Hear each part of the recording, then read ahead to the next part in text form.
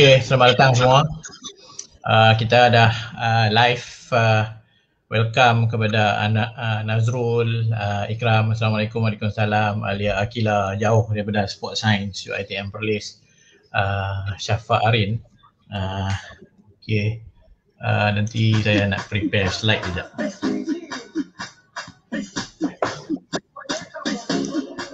Jerusalem,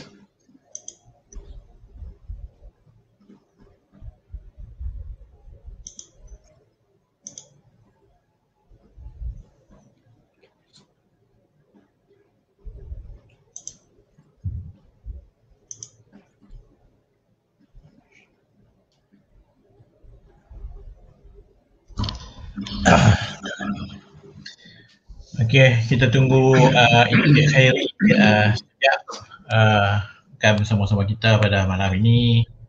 Uh, wow, uh, masuk, masuk, masuk, masuk, masuk, masuk, masuk, masuk. Teruskan masuk, teruskan masuk.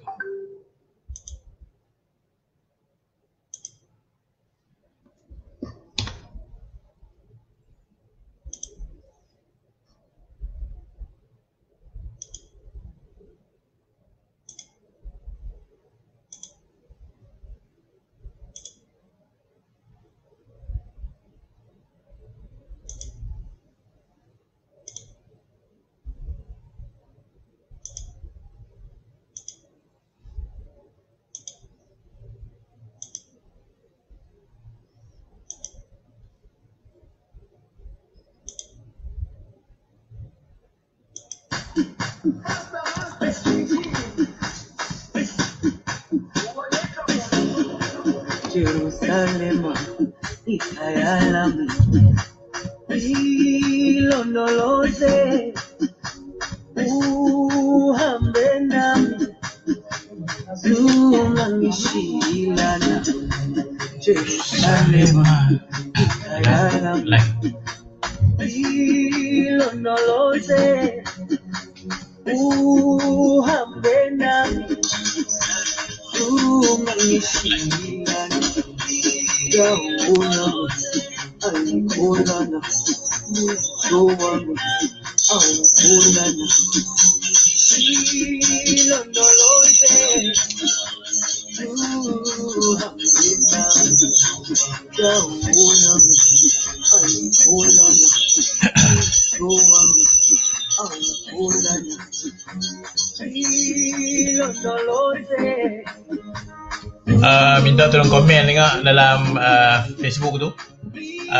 Uh, siapa-siapa yang dengar uh, music tu kali boleh tolong komen tak?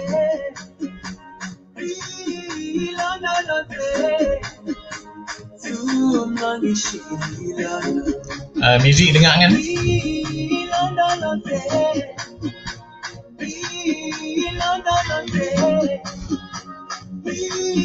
Jadi uh, dia punya music dengar okey Sheila kata dengar Jadi ingat mic mute kot tak buka mic oh.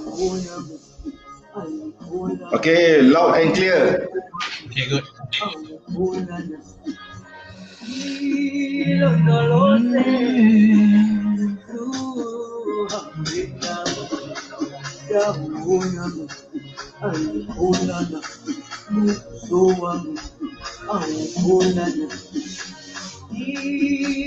Lima per sembilan. Terima kasih Weh. Syahri Hasan Selamat malam, selamat bersiaran. Hafizuddin Amli. Okey, kita ingat-ingat dulu. Ha? ha? Abang Pai. Lepas ni kita berenang Kita berenang laut tahu Kita cross di redang.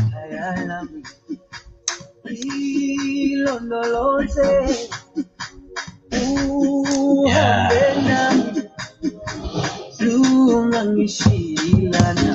Kita tunggu kawan-kawan kita masuk. Ingat dalam uh, 3-4 minit lagi. Okay. Sekarang kita ada 35 orang dah. Okay. Makin makin uh, makin segar. Yunus Waidin jauh daripada Labuan. Okey, abang Dumham Bushcraft. Assalamualaikum. Waalaikumsalam.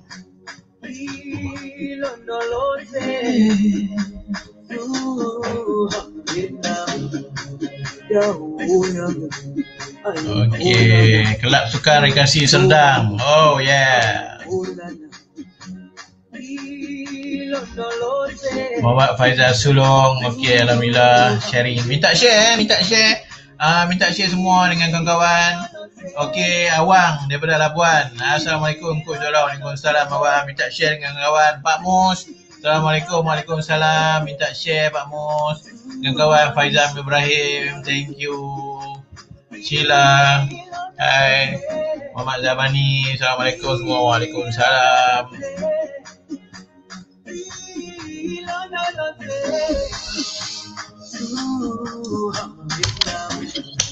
Kita tunggu lagi 4 orang lagi dekat 46, tunggu 50 lagi kita start.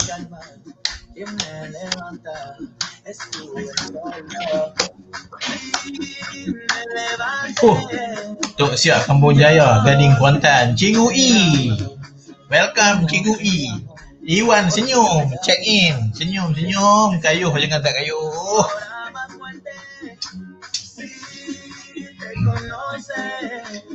Semua dah minum, semua dah makan. Suraimi Ali, Abang Oden, loud and clear. Oh, US kalau kubu baru, boleh mampu ya? Cuaca semua tempat clear. Nur Zakiah dan Mihazik dan share, terima kasih. Okay, kita dah 53 orang dah. Okay, we go for the next uh, event. Okay, kita mula pula sekali lagi. Okay, siapa teka lagu ni lagu apa? Uh, tapi ya lagu ni bukanlah bagi hadiah. Uh, tulis dalam dalam komen. Uh, ya, uh, lagu ni tak ada hadiah, teka tak ada hadiah.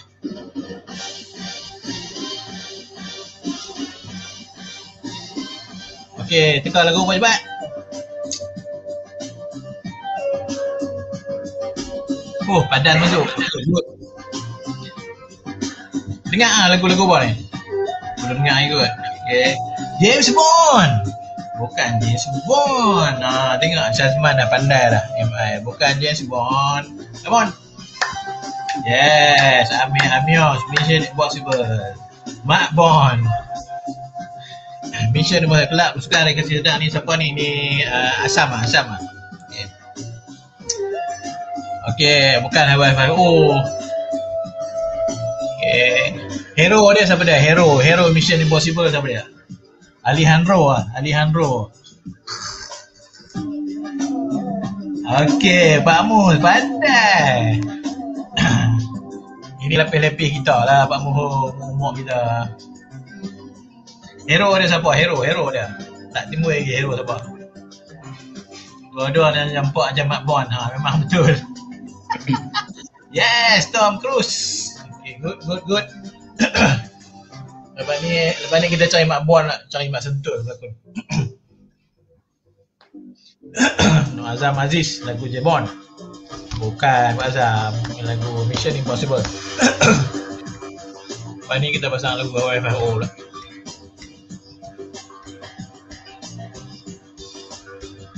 Waalaikumsalam Syazman.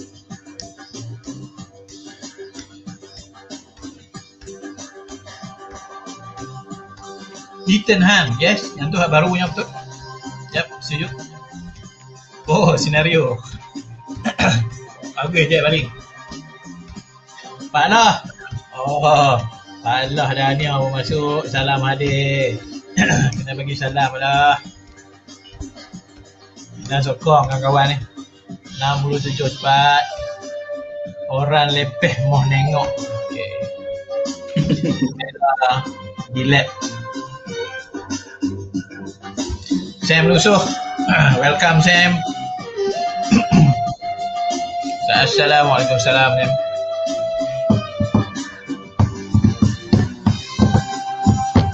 Hasan Ali di Pak Hasan.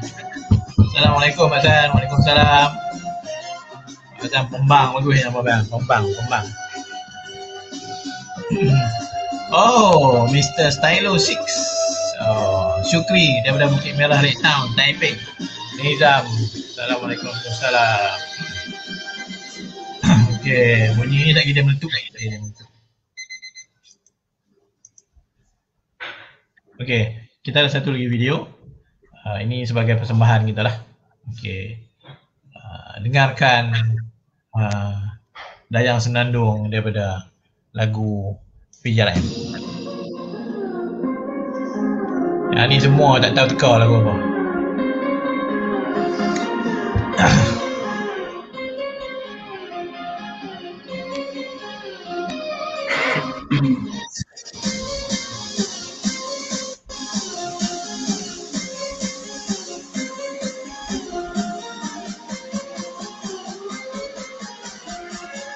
Jamal JJ, Assalamualaikum, Waalaikumsalam. Farid Saleh, Assalamualaikum, Waalaikumsalam. Syafiq Abbas, Assalamualaikum, Jibu, Waalaikumsalam. Awatif Malik, salam dari Rostak, Waalaikumsalam.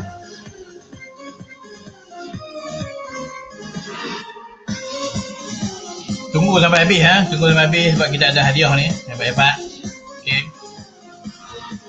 Lagu Danok malam minggu. Betul, betul, betul. Rejo. Ini lagu Danok orang Bukit Kayu Hitam ha. Nazrul Ikram, terima kasih. Kecil Zack Junior, Assalam dan stay safe. InsyaAllah sama-sama kita stay safe. Share dulu, share dulu. Macam Pak Lah kata, share dulu. Semua share dulu. Share dulu. Uh, kita baru uh, dalam 15 minit, 10 minit lagi. Okay. Mr. Abai. Bain Abai orang suruh sebut nama dia. Uh, nanti Mr. Anandro kata saya tak tengok. Hamizan Hamid, Assalamualaikum tuan-tuan. Waalaikumsalam. Uh, Syafiq Abbas, Encik Khairi, handsome tak terhingga. Oh, oh dia cukup kepala sebab tu handsome. Uh, tadi tanya dia, dia cukup kepala pakai apa? Mios, Jam, okay. Sam Suri, Pesom, Sam Suri, Pesom. Amin, thank you very much. Fazri Rahman, Allahu Akbar. Abang Fazri kita tengah bertugas di KLA. Terima kasih banyak Ali. Salam moderator dengan speaker. Okey, macam Fit Harun, salam. Selamat Hari Raya. Uh, selamat Hari Raya, selamat Hari Raya. Zahar, Fit.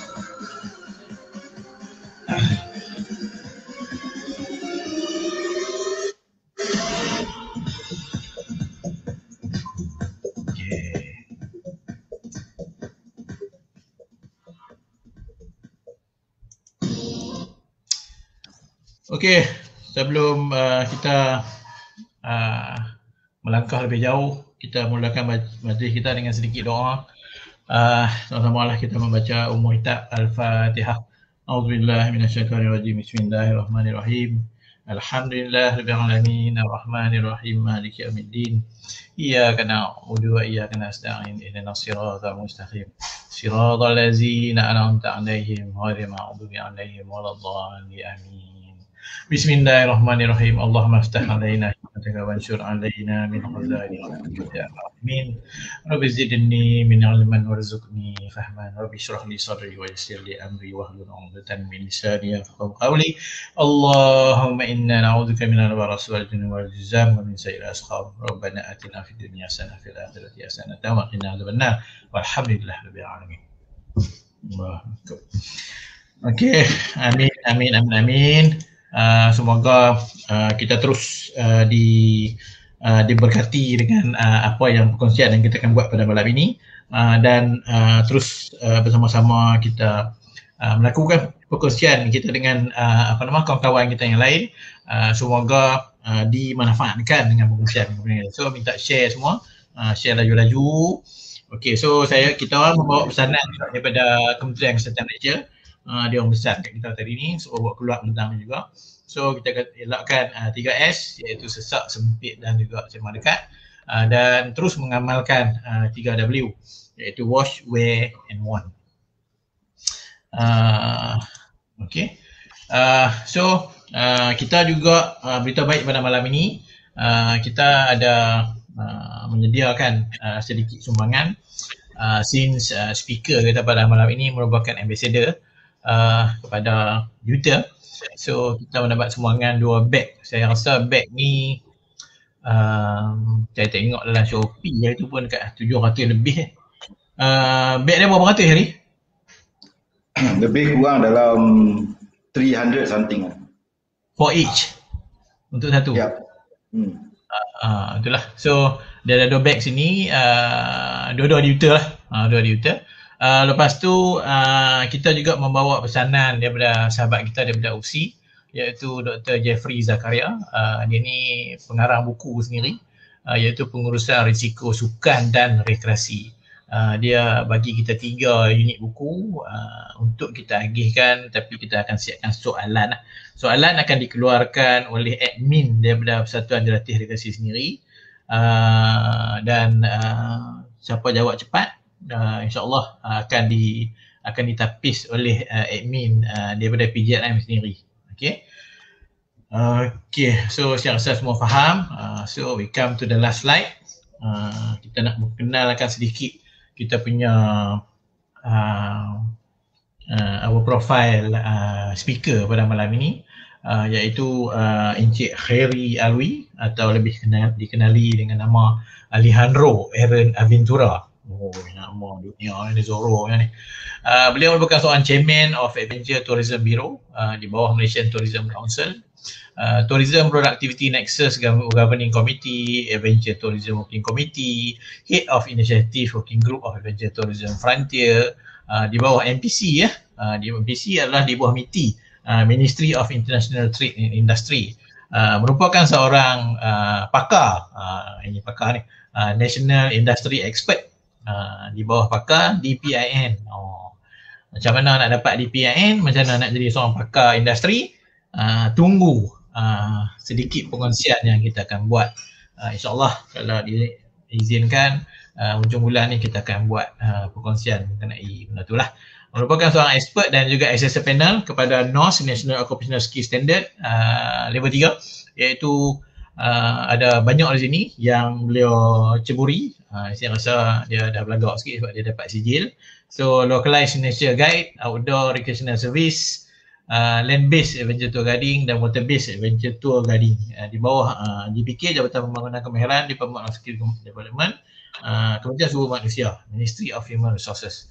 Uh, merupakan seorang advisory uh, expert panel untuk uh, Recreation and Sport Development uh, Division uh, Ministry of Youth di bawah Kementerian Belia dan Sukan dan of course uh, uh, merupakan seorang produk uh, ambassador iaitu DUTA dan juga UFL uh, Universal Leisure and Fitness yang berhad. Okay, so saya akan stop sharing di sini dulu. Uh, and then uh, bagi kita bersembang-sembang dengan dia dulu. Okay, so kita ada 80 orang lebih lah masuk. Uh, Alhamdulillah, Alhamdulillah. Alhamdulillah. Ha? Tuan Muhammad Yusaini pun ada sini. Ha, tahniah Tuan Syarah. Ha, handsome. Oh, dia sebut pensyarah ya, dia tak sebut uh, apa nama uh, apa nama moderator. Ha, dia sebut pensyarah ya. okay, uh, any uh, first word daripada Harry. Sementara tu saya nak uh, siapkan uh, perkongsian skrin tu. Harry. Oh. Uh, saya rasa tak ada sangat lah uh, kata-kata haluan. Cumanya saya ucapkan banyak-banyak terima kasih kepada semua yang hadir pada malam ni. Okay. Tak sangka pula sampai you know, 92 yang sekarang ni kan. Saya ingatkan, ingatkan orang botak ni tak ada siapa nak tengok. maklumlah muka tak handsome, tak ada nilai dalam komersial. ada lah tu. Dan, dan saya rasa kat sini ada campur-campur sikit dia punya audience ni. Ada juga Alright. daripada um, I think Syarah Politeknik pun ada. Uh, Uh, dan rakan-rakan dalam PJRM pun ada. ada ada ramai ramai tu ramai. Rakan-rakan operator Mungkin- pun ada. Uh, Ni orang mungkin ini juga ni. uh, mungkin ini uh, dia punya drive dari segi bag tu, dari segi buku apa semua tu kan. Uh, uh. Ah, itu itu itulah. Ah, Encik Dola. Ya ya. Ah itu itulah. Saya pun duk risau ni. Depa ni masuk sebab hadiah. Bukan nak dengar sangat pun sebenarnya. Sebab nak hadiah je sebenarnya. Tak apa. Hadiah bila hadiah macam ni pun dia bukanlah satu benda yang mudah. Uh, saya rasa kita punya admin uh, Cik Rahman tu pun dah pening kepala lah. Uh, saya rasa dah dapat soalan-soalan, jawapan-jawapan. Uh, so nanti uh, nanti dia akan uh, fikirkan macam mana. So kita fokus kepada kita aja. Okay, so uh, itu uh, boleh dikatakan uh, apa nama mukadimah uh, introduction daripada uh, Harry daripada Khalid uh, daripada Alejandro. Uh, so uh, slide saya dah buka. So is up to you. Uh, just roll it. Okey, bismillahirrahmanirrahim. Ah, terima kasih tuan moderator. Uh, Assalamualaikum warahmatullahi taala wabarakatuh dan selamat petang. Good evening to all rakan-rakan sahabat-sahabat yang saya hormati sekalian. Now, sebagaimana yang telah digembar-gemburkan sebelum ini pada malam ni saya cuba untuk buat sharing sebenarnya. It's not so much on teaching tapi lebih pada sharing. Dia berkongsi apa yang telah dilakukan dan uh, dan, dan dan ini pula saya memilih me, untuk pendekatan yang mana apa yang saya akan share pada malam ini adalah something yang telah pun dibuat. Okay.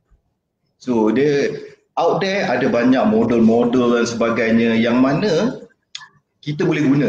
Okay. But again mungkin tak sesuai dengan budaya kita, tak sesuai dengan penerimaan kita. Maka sejauh mana hebat pun mungkin kita menghadapi masalah untuk mengaplikasikannya.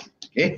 Now, so that's why saya hari ini saya akan share, saya akan bawakan contoh-contoh, saya akan bawa ceritakan apa yang telah dilakukan. Okay. Especially oleh beberapa operator yang mana sebenarnya dah ada kejayaannya. Okay. Dan kepada rakan-rakan yang ingin mencubanya kalau you know experiencing some sort of hiccup ke insya-Allah kita boleh troubleshoot. Okay. Now sebelum saya uh, mulakan saya punya so called pengkongsian pada malam ni saya ingin bercerita sedikit lah. Now, the reason why saya membuat uh, perkongsian ini adalah kerana dia berkait rapat dengan apa yang telah berlaku pada masa kini. Rakan-rakan sekalian, kita tahu tentang white flag. Okay. Tetapi apa yang kita tahu adalah mereka-mereka yang memang miskin, mereka-mereka yang dah apa tidak berkemampuan dah untuk move forward. Tidak pernah terjangka pun ada juga di kalangan rakan-rakan kita sendiri pun yang telah mengibarkan white flag. Okay. Tetapi dalam bentuk invisible. Dia tidak senyata. Okay. Bagaimana saya tahu ni adalah kerana pada permulaan lockdown hari itu saya telah cuba untuk um, sebenarnya mewawarkanlah podos, rakan-rakan yang ingin meminta bantuan, okay, I am willing. Okay, dengan apa yang saya ada, saya untuk membantu. And then, memang ada pun. Memang ada. Okay. Uh, and then saya pun uh, bukan memberi pinjaman tetapi memberi ya, bantuan uh, dan orang kata apa ni sebagai derma. Okay. Jumlah dia berapa dan berapa ramai yang telah dibantu tu itu antara saya, Allah Ta'ala dan juga mereka-mereka lah. Okay. Cumanya apa yang agak tertarik perhatian saya adalah begini ya. Saya ada tanya kepada mereka-mereka yang uh, memohon bantuan tersebut, apa sebab? Masing-masing jawapan dia hampir sama iaitu they do not know how to move forward. Mereka tak tahu, mereka buntu. Dan orang-orang ni sebenarnya adalah rakan-rakan kita yang memang spesialis dalam aktiviti masing-masing. Okay. So, untuk itu saya rasa perlu dibuat satu penambahbaikan lah, ataupun kita ubah strategi sikit. Okay. Bak kata pepatah Cina, kalau bagi makan ikan, kita bagi orang ikan, dia boleh kenyang untuk sehari.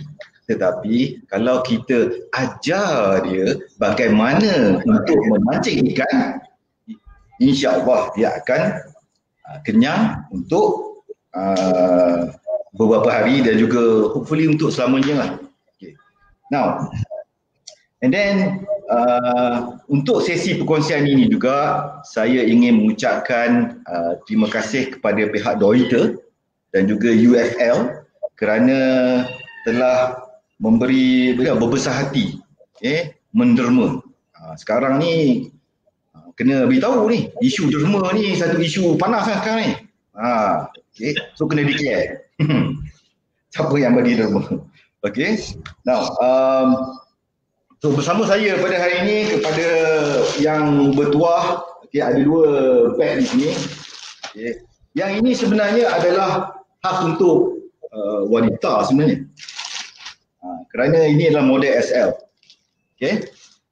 Dan yang ini, ha, yang ini lebih kepada boleh pakai lah. Ha, boleh pakai oleh kedua-dua jantina. Soalannya tak payah pun tuan-tuan, tuan ni apa rakan-rakan semua. Ini lebih kepada sebenarnya nak bagi je tapi yalah perlulah ada usaha sikit kan. Macam gitulah. Alright.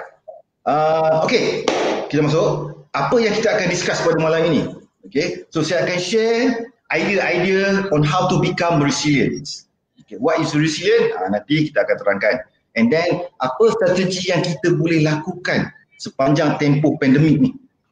Okay, kita tak boleh nak melancong, kita tak boleh nak operate, kita tak boleh nak menawarkan servis. Tetapi ada perkara yang kita boleh lakukan. Kemudian pandemik ini tidak akan berlarutan. Okay, ha, lama kelamaan dia akan jadi endemik. So, bila ada transition tersebut, maka situlah wujudnya reopening of businesses. Okay, so jadi apa preparation yang perlu kita buat?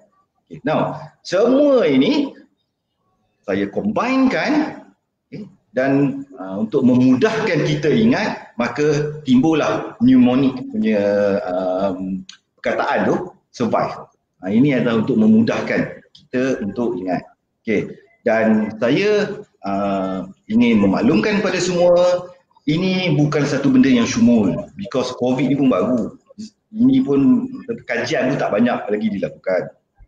Okay progressively sedang dibuat. Tetapi uh, sekurang-kurangnya lah sekurang-kurangnya saya mengharapkan dan mewakili pihak PJRM juga mengharapkan rakan-rakan semua dapatlah gunakan ini sebagai mungkin satu step stepping stone, batu loncatan ataupun catalyst ataupun motivasi on how to move forward.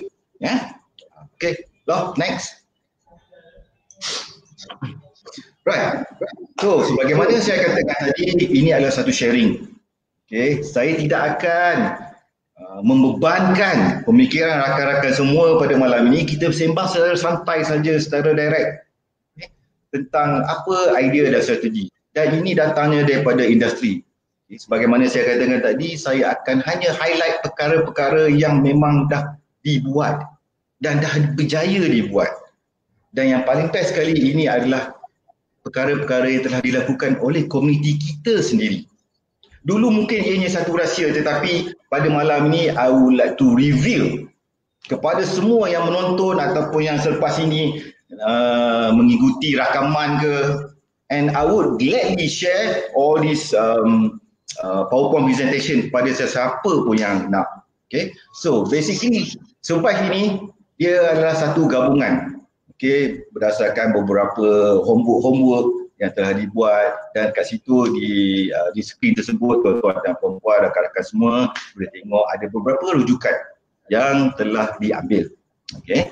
Uh, and then rujukan-rujukan ni bukan saja diambil uh, untuk mendapatkan idea tentang menghasilkan survive tersebut tetapi adalah untuk kita selari, uh, selarikan Macam contohnya National Tourism Policy. Itu satu rujukan utama because National Tourism Policy ni dia bermula pada 2020. This is the latest ya. 2020 sampai 2030. 2030. Okay. So kita kena sesuaikan dengan strategi apa yang yang betapa kehendak yang telah dinyatakan dalam uh, National Tourism Policy. And then kalau gambar yang yang atas sekali tu atas pada safe travel tu uh, itu from time to time progressively kami ada melakukan beberapa online session discuss secara online apa yang perlu dibuat apa yang tak perlu dibuat okay, so kalau ada masalah bagaimana nak nak menyelesaikannya so pada malam ni uh, saya akan share okay, apa yang telah kami semua dapat, apa yang telah kami semua bincangkan dan apa yang telah pun kami lakukan. Okay. Next lah. Right. Sebelum kita masuk kepada survive tu, strategi tu, let me just share lah. Okay. Uh, I will not go to this because yang ini saya rasa kalau sebut COVID-19 impact-impact yang telah berlaku ni saya rasa semua orang dah tahu. Okay. So kalau kita tengok uh, data, okay, data yang saya tunjukkan di, di, di screen tersebut, okay, itu adalah latest from uh, World Tourism World Travel and Tourism Council. Okay. Uh, berlaku penurunan. Okay, obviously berlaku penurunan dari segi ekonomi impact. Okay. And then sebagaimana yang kita sedia maklum aktiviti pelancongan termasuk jugalah aktiviti rekreasi, aktiviti aktiviti lasak yang kita anjurkan selama ini sebenarnya apabila berlakunya pandemik ini inilah yang first kali kena hit dan unfortunately satu keadaan yang kita kena terima bahawa industri kita lah yang akan last recover okay?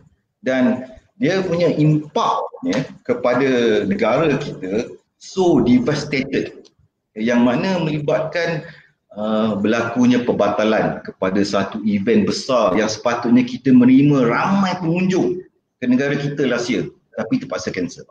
Okay, next. Itulah. Right.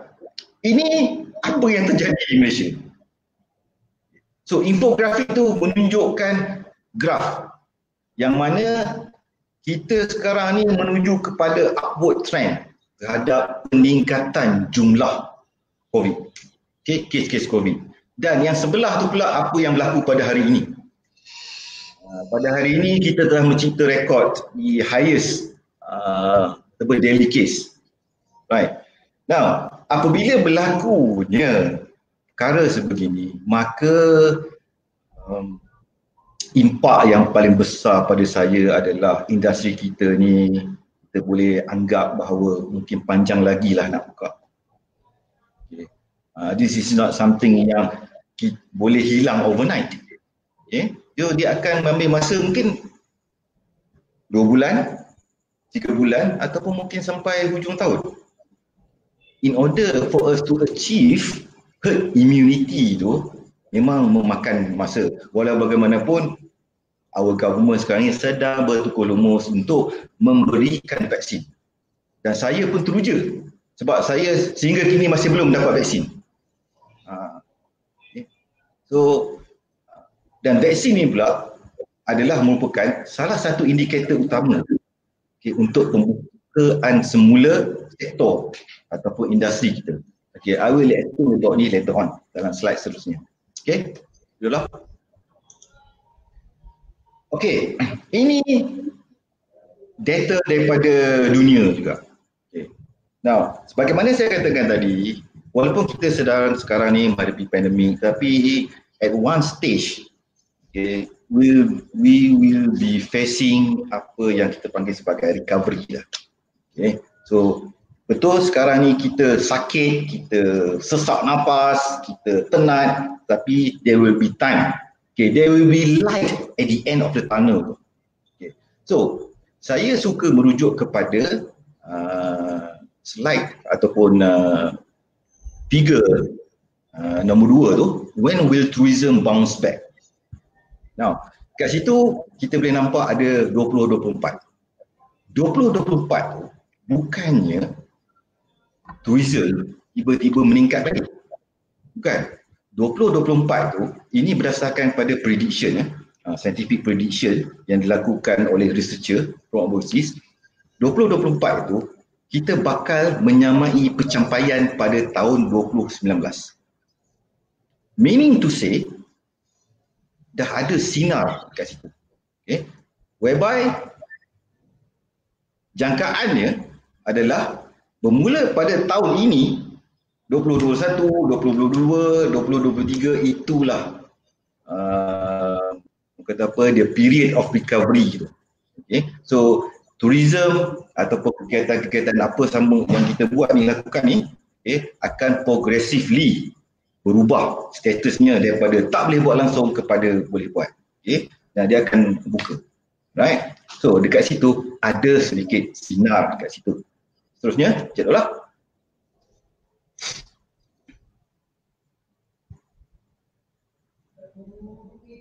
Right.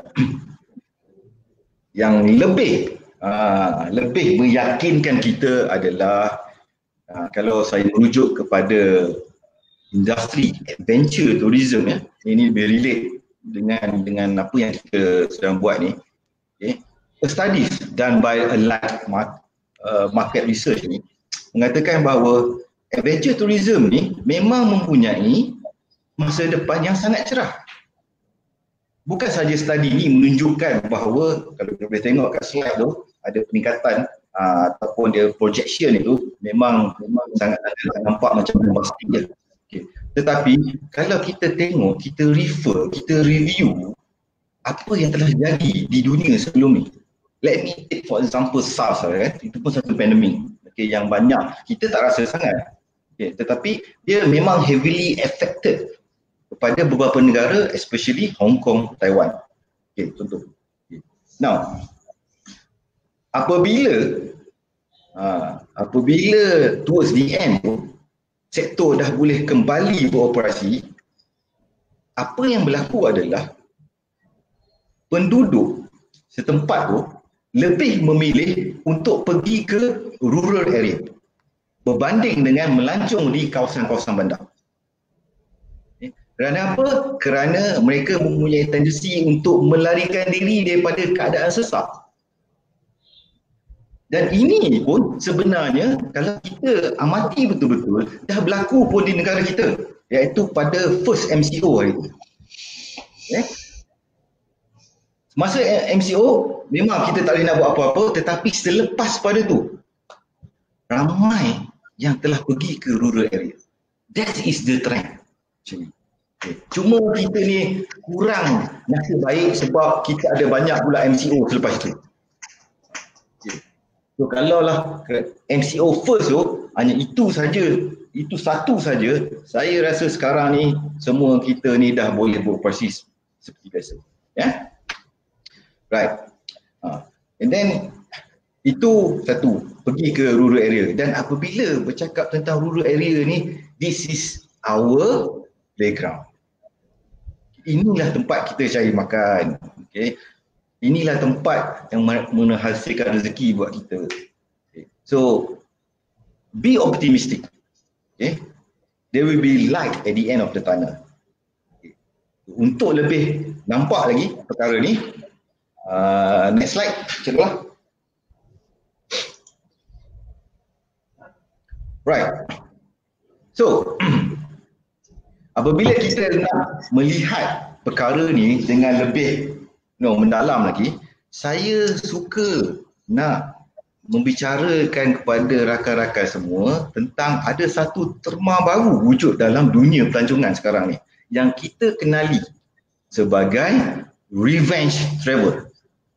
Nama tu nampak ganas. Nama tu nampak macam gitu hardcore, nampak macam lah, a bit negatif. Tetapi revenge travel ataupun revenge tourism ni sebenarnya dia merujuk kepada keadaan yang mana kita semua ni sangat-sangat eager you know, membuat-buat minat untuk melakukan pelancongan, melakukan perjalanan ke tempat lain setelah kita terkurung buat sekian sekian lama. Okay. And then based on recent uh, publication apa semua yang uh, revenge tourism or revenge travel ni uh, dia beritakan originated from India sebenarnya tapi dah mula menular ke ke seluruh dunia lah. And then revenge tourism ni for me is not really a new category of tourism. Dia hanyalah satu uh, jenama satu linggo untuk menunjukkan kepada trend yang wujud okay? Now So, in order for us to cater this new needs ni, we have to be resilient. Resilient masuk dia sini adalah kita bounce back daripada keadaan yang buruk, kita menghasilkan satu benda yang uh, baru okay, ataupun kita keluar daripada keadaan yang teruk. Okay. And then adventure tourism dan juga outdoor uh, recreation activities ni ada disebut sebagai antara subsektor pelancongan yang akan mempunyai nilai resiliensi yang cukup tinggi. Sebagaimana yang saya terangkan tadi, orang akan berpusu-pusu pergi kepada rural area. Dan di Malaysia sendiri pun berkaitan dengan rural area ni, dulu ni dia tidaklah begitu popular tetapi apa yang berlaku pada tahun lepas, last year, berlaku satu trend baru juga di Malaysia iaitu family camping. Normally, kita akan bawa ahli keluarga pergi either hotel atau resort. Tetapi, last year, dah nampak satu kebangkitan. Okay, trend baru bawa family pergi camping. So, saya tidak akan ulas berpanjang pasal family tersebut. Ada yang mungkin suka glamping, ada yang, you know, suka rustic kind of camping so terpulang kepada pilihan masing-masing. Okay. So dalam konteks ini in order for us to move forward first we have to think positive. Okay. And then we need to have a new mindset. Kita tak boleh dah uh, ber, ber, ber, berpaksikan apa saja yang telah berlaku sebelum ini. Okay. Ada certain kita boleh ambil tetapi kita kena come up with a new mindset. Kerana apa? Kerana sekarang ni kita berdepan dengan norma baru. Okay. And then, most important thing, we have to be optimistic. Kepada rakan-rakan yang telah mengibarkan bendera putih that uh, so-called invisible white flag tu, okay, don't worry. This is not the end of the world. Believe me, we will prosper. Okay. Cumanya, dia ambil masa sikit. Okay. Now, ketika tempoh tersebut, apa perlu kita buat? Okey, Cik Dora. Okey. So, ha, inilah yang saya akan share sebentar lagi. Ha, dia merupakan kita boleh katakan dia sebagai strategi okay. and then tapi pada saya dia lebih kepada idea saja. Okay. Idea-idea apa yang kita kita boleh lakukan. Okay. And then walaupun dia survive tu, you know, dia bukan Uh, berbentuk satu sequence. Okay, you, kita kena buat S dulu, barulah seterusnya. Kita boleh pilih yang mana kita nak dahulukan. Okay. Ataupun mungkin kita hanya ambil sebahagian saja. Okay. So terpulang kepada keadaan dan situasi masing-masing. Okay, itulah. Kita bercakap tentang first strategi ataupun idea. Okay. Now, duit ini bukanlah segala-galanya. Okay. Tetapi pada zaman sekarang ni, it seems that segala-galanya memerlukan duit. Now, untuk tujuan itu, sebelum ni sumber pendapatan utama rakan-rakan semua adalah berkaitan dengan pelancongan. Duit itu datang daripada turis, daripada klien kita. Tetapi apabila COVID melanda dan yang paling uh, ketara sekali, paling kritikal adalah COVID itu bukan hanya dia saja yang datang tetapi dia juga datang dengan travel restriction. Okay? Larangan untuk kita bergerak. Jadi kalau kita bersedia macam mana pun turis ni nak pergi juga melancong semua tidak boleh dilakukan kerana itulah itu adalah usaha-usaha untuk mengengkang uh, penyebaran wabak.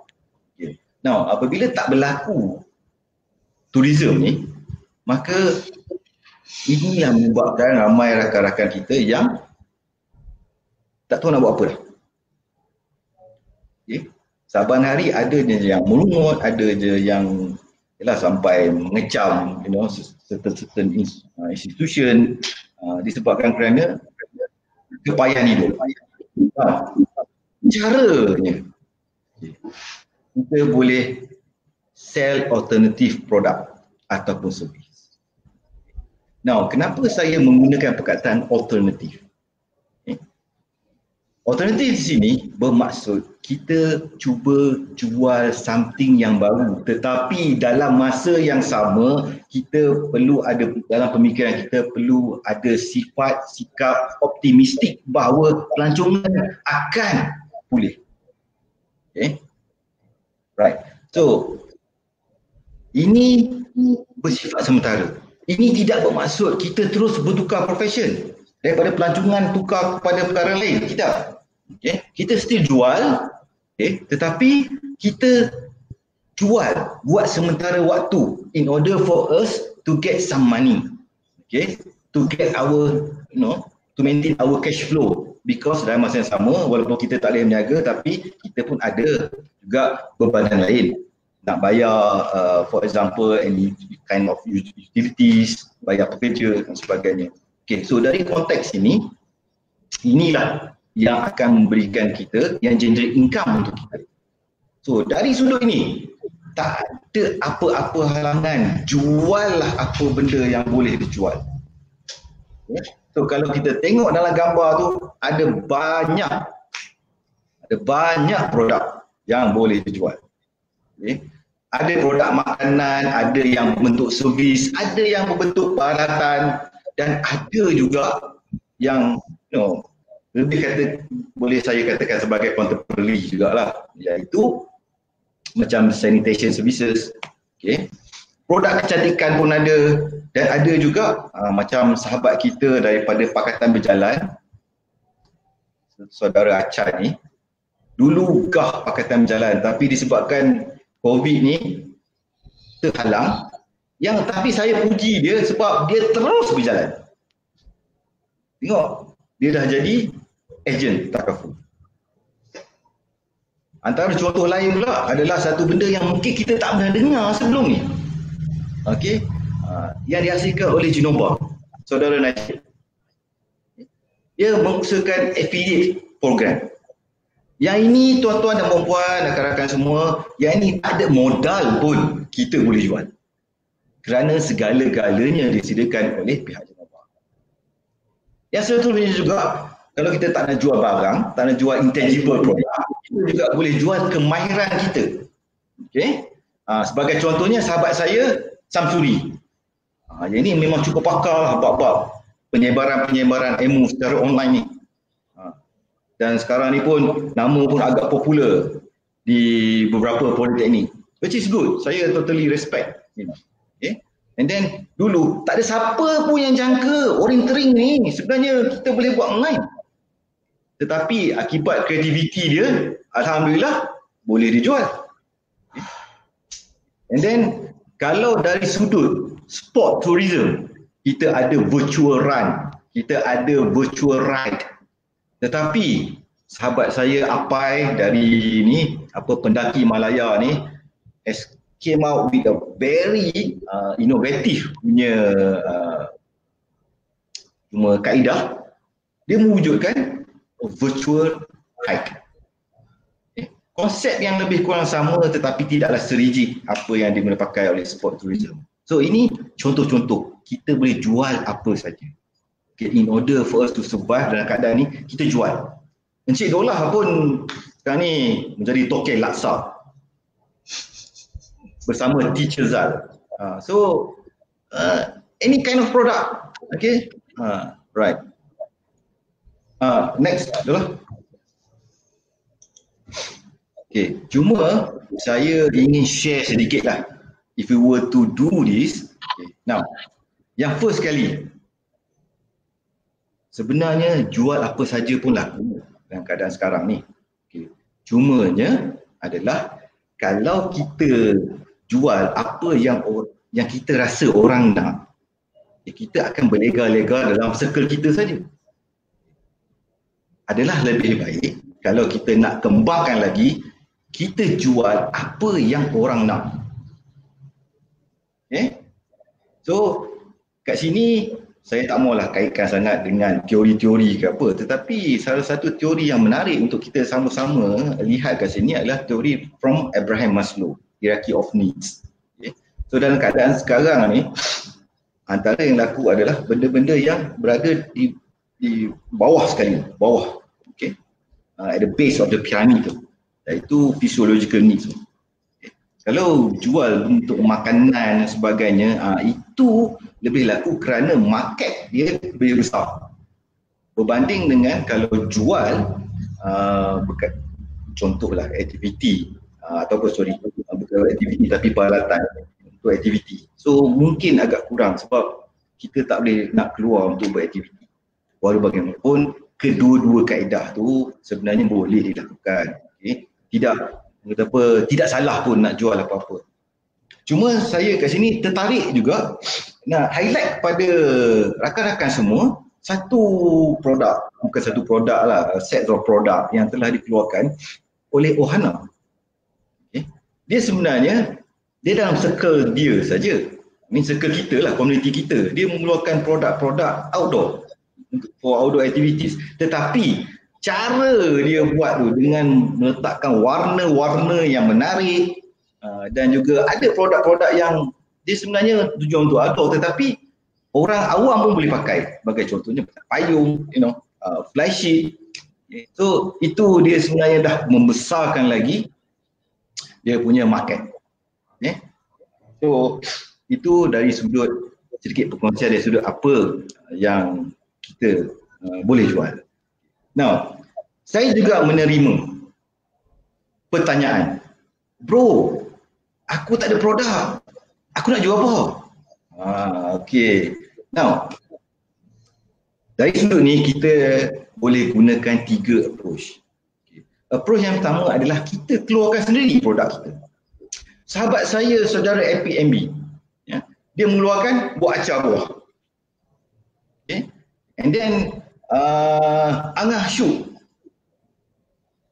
dan uh, isteri tercintanya buat laksa Johor legend. Oh, legend tu, jangan main-main. Ha, saya tak tahu mungkin buat dia, dia buat daripada ikan ruyung tu. okay. And then uh, contoh lain uh, seperti uh, kalau di Kedah ni saudari Bella Hanim mengeluarkan produk daging perah pahlawan. Oh, jangan main-main. Makan daging apa jadi pahlawan tu. Okay. So, uh, itu contoh-contoh dia. Okay. Kita boleh keluarkan produk kita sendiri. Ataupun uh, contoh yang lain pula, saudara Kimot dia menghasilkan uh, pes masakan. Uh, yang ni cukup, saya cukup suka ni sebab saya tak hati masak. Jadi saya gunakan pes dia confirm. Confirm tak perlu masuk dalam Facebook masak tak jadi. Okay. Itu yang pertama. Yang kedua pula adalah kalau kita tak ada barang, kita tak ada kemahiran untuk menghasilkan sesuatu, kita boleh jadi ejen. Saya bagi contoh antara otai pergunungan Malaysia. Saudara Lokman. Okay. Dia tak ada produk. Tetapi dia jadi ejen kepada Mr. Kiwi. Kita pun dah tahu lah Mr. Kiwi tu hebat. Okay. So dia jadi ejen. Itu contoh. And then uh, Contoh yang lain pula, saudara, ha, ni seorang lagi. Contoh anak muda yang bagus. Nazrul. Jual, um, I think some sort of a rempah, spice untuk masakan. Bukan dia yang buat, tetapi dia tolong jual because dia agent. Okay, ha, itu menghasilkan pendapatan juga. Dan akhir sekali adalah apa uh, kita juga boleh create our own branding. Contoh yang terbaik yang saya boleh cerita kat sini adalah saya rasa rakan-rakan semua pernah dengar kan uh, perkataan Cameron to you. Okay. Ini diusahakan oleh saudara Utih. Yang dulu kita kenal dia sebagai guide di uh, Cameron Highland. Okay. So, apa yang dia pasarkan oleh Cameron to you ni banyaknya lah adalah hasil-hasil pertanian. Jagung, ubi dan of course lah, strawberry. Okay. So jagung, ubi, strawberry tu bukan dia pun yang tanam. Okay. Dia ambil daripada ladang-ladang yang berhampiran tetapi bila nak market tu dia market di bawah dia branding dia tersendiri. Okay. So itu tiga kaedah yang kita perlu. Now, kenapa pula kita perlu jual ni? Ada orang cakap juga, oh ni apa ni, ni dah tukar bidang ni sebenarnya. Now, remember when I told all of you that kita sebenarnya buat ni bersifat temporary, sementara. Bukan kita bertukar bidang. Kita buat tapi pemikiran kita masih optimistik bahawa pelancongan boleh berlaku. Now, kelebihan dia apa dia? Apabila kita jual semua ni, dia dah open up kita punya business ni kepada a new kind of market. Kalau dulu sesama kita saja, berlega-lega macam tu je. Tapi ramai orang akan kenal kita dan kita pun ram, akan kenal ramai orang. Okay? So, apabila kita dah tahu kita ada database of potential client, when tourism, the sector of tourism, industry tourism ni been open up, okay, travel restriction to been lift off. Okay? So, kita dah ada satu database yang mana mungkin kita boleh create program and then kita war-warkan pada mereka. Okay. So macam tadi saya beritahu tendensi orang untuk pergi ke rural area sangat tinggi. So perhaps mungkin kita buat program hiking for beginners. Okay. Uh, so kemungkinan ada possibility untuk mereka-mereka ni akan join. Okay. Itu yang pertama. Okay. Yang keduanya pula antara kelebihan dia kita boleh upsell diri kita. Semasa kita menjual benda-benda lain tu, okay, alternatif service or produk ni, dan kita juga boleh introduce kita sebagai siapa kita yang sebenarnya dahulu. Okay. So, apabila pelancongan boleh dilakukan semula, waktu itulah pelanggan kita akan ingat, oh, macam contoh, saya bagi contoh Utik lah. Okay, Utik dia jual uh, produk uh, strawberry. Orang kenal dia dengan itu sekarang. Okay ataupun yang jadi ejen kepada Uti tu saudari AB. Ha, yang ini pun ni lah, sepatutnya dia tukar nama kepada apa Cik Okit kepada Cik Strawberry. And then apa yang uh, orang kenal mereka ni dengan Strawberry tetapi sebenarnya kedua-duanya mempunyai kemahiran masing-masing untuk mengendalikan program. Okay. Waktu mereka menjual tu mereka boleh menjual sekali apa yang dahulunya mereka buat. So when this all over, ada tendensi orang yang sekarang ni kenal mereka dengan strawberry akan kenal dengan kerjaan Hakim. Okay. Uh, pergi strawberry, uh, pergi strawberry pula, pergi Cameron Island, nak beli strawberry, teringat kat Utih, terus pergi hiking. Pergi Putrajaya, jumpa Abby, uh, terus jadi, tak tahulah swimming punya produk ke apa ke, Ha, sebab AP ni dia macam multidisciplinary sikit. And then yang seterusnya kita boleh offer promotion. Now, promotion ni satu benda yang akan berlaku apabila sektor pelancongan, uh, pelancongan ni dibuka semula. Okay. Sebagaimana yang kita tengok sebelum-sebelum ini, hotel ke, resort ke, apa ke, campsite ke akan menurunkan harga. Okay. So, instead of dia buat marketing secara you know, secara terbuka, kita dah ada spesifik target market yang mana kita boleh salurkan information tersebut. Okay, so itu antara kelebihannya. Okay, next. Kira lah.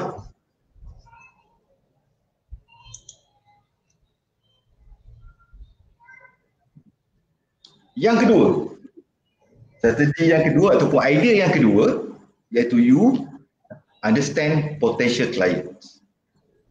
Now, sekarang ni sebagaimana saranan daripada pihak kementerian sendiri, kalau dia buka sektor pelancongan pun akan buka dulu kepada domestik, kita menggalakkan domestik.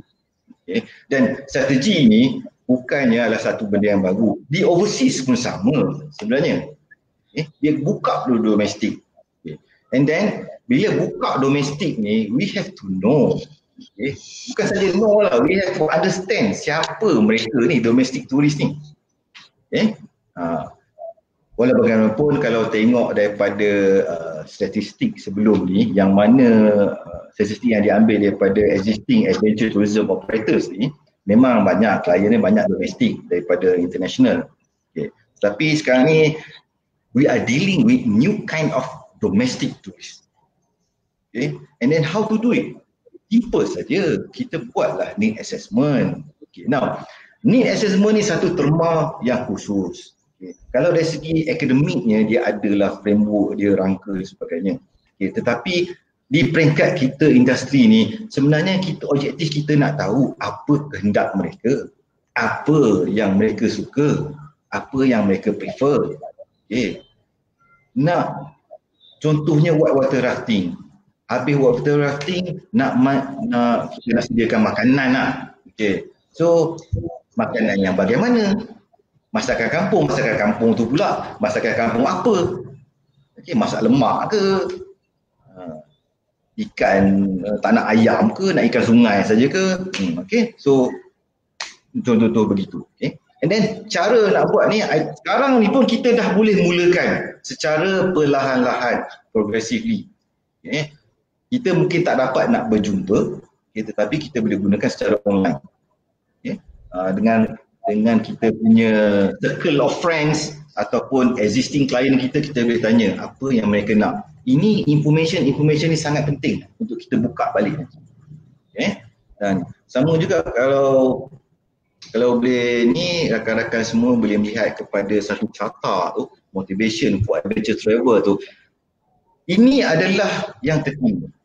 Kalau tengok betul-betul kat situ tak ada langsung perkataan risiko. Whereby sekarang ni Yalah berbanding dulu lah relatively lah. Berbanding dulu orang kata adventure tourism ni sebab saya sukakan risiko apa semua. No sekarang ni people are looking forward ataupun look expecting looking forward kepada unique experiences. Okay uh, meaningful experiences.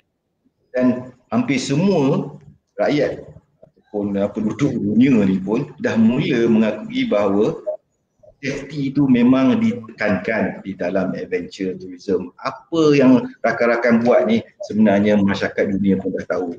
So they are looking more, they are looking beyond than that. Okay? So itu pun kalau kita dah tahu benda tu, saya bagi contoh ya.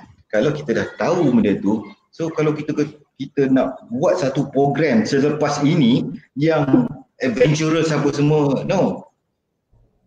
Itu tak kena dengan kehendak orang. Okay. Uh, so mungkin dia akan pergi program kita and then that's it. Uh, alright. Okay seterusnya. Lah.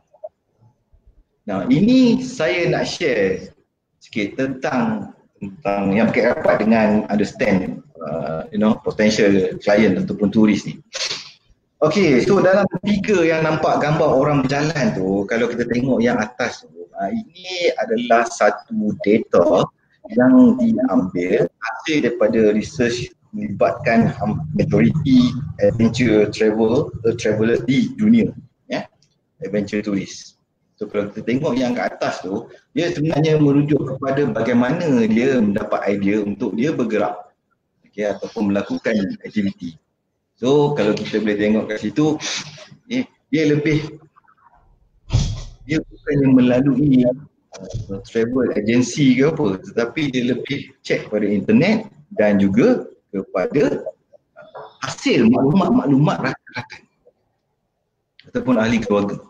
Okay? Uh, itu bagaimana dia boleh tahu kita adalah melalui dua kaedah tu. Now, saya nak uh, selarikan benda ni, saya nak bandingkan dengan satu kajian yang telah dilakukan oleh Tourism Malaysia pada mula-mula MCO dulu. Kalau kita tengok yang atas sekali tu, okay, travelling behaviour domestic turis kita pun dah berubah. Kalau dulu mereka lebih memilih untuk tour package, ambil package-package yang telah disediakan. Tetapi sekarang ni mereka membuat independent arrangement. Maknanya dia akan contact kita direct. Okay. So bagaimana dia tahu? Ha, ini rakan-rakan boleh tengok kat situ. Okay. Percentage yang agak besar uh, diperolehi dari sudut online booking. Okay. Ini ini penting. Ini penting. In order for us to keep on moving forward ni, this kind of information sangat-sangat uh, penting. Okay. Uh, and then yang seterusnya tu adalah penggunaan guide. So yang ini mungkin lebih menunjuk kepada city guide. Dalam aktiviti kita ni tak ada satu aktiviti pun yang kita galakkan tak pakai guide. Waima, no, mendaki gunung perlu ada guide. Kalau rafting apatah lagi, tak kisah guna kayak pun at least semua ada guide. Okay, ada operator. Next pula. Yang seterusnya pula adalah kesinambungan daripada apa yang telah ditunjukkan tadi. Okay. Now, I will not go uh, one by one. Lah. Okay. Saya akan highlightkan benda-benda yang penting so that kita boleh nampak behavior orang tu dah berubah. Okay. So, yang pertama sekali dari sudut kalau dia nak pergi ke mana-mana, dengan siapa dia memilih untuk pergi? So majority memilih untuk pergi bersama keluarga. So that explain why family camping tiba-tiba boom, tiba-tiba viral.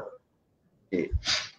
And then perjalanan, kalau nak buat satu-satu perjalanan tu, okay, so ramai yang memilih untuk travel domestic. Okay, as you can see uh, in the slide tu. Right. And then dan mereka apabila nak melakukan perjalanan pun mereka lebih prefer menggunakan own transportation. Yang agak penting dalam slide tu adalah priority. Uh, yang atas sekali tu yang gambar I think gambar tangan okay, priority tu. Kepada new domestic tourist ni kalau nak melancong selepas ini based on this data mereka memang mementingkan keselamatan dan juga kesihatan. Dia bukan nak travel tentang promo je. Buka je ye travel. No. Place yang dia orang nak pergi tu, destination yang dia orang nak you know buat aktiviti apa semua tu dia orang akan utamakan. Mereka ni akan mengutamakan kesihatan dan juga keselamatan. Especially yang ni lah prevention COVID ni. Okay. So itu data yang pertama. And then yang gambar-gambar yang bawah tu pula adalah majoriti juga memilih untuk pergi ke macam saya kata apa macam saya katakan tadi rural area and then pergi beach. Okay. Uh, 3M tourism. Sea Sunset. Okay.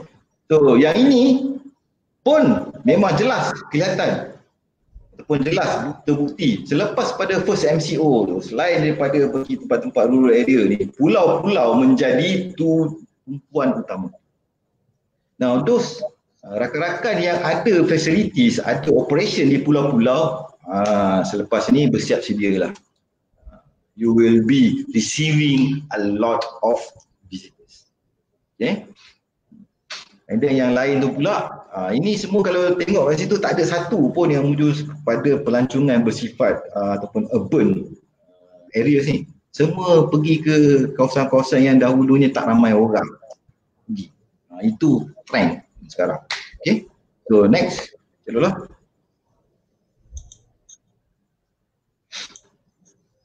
Okay. So yang ini adalah kesinambungan. Ini selepas daripada MCO. Uh, ketika RMCO dibuat lagi satu. Yang ini lebih kurang sama juga. I mean the whole report ni lebih kurang sama. Cuma ya ada penambahan kat sini yang saya suka juga untuk highlight.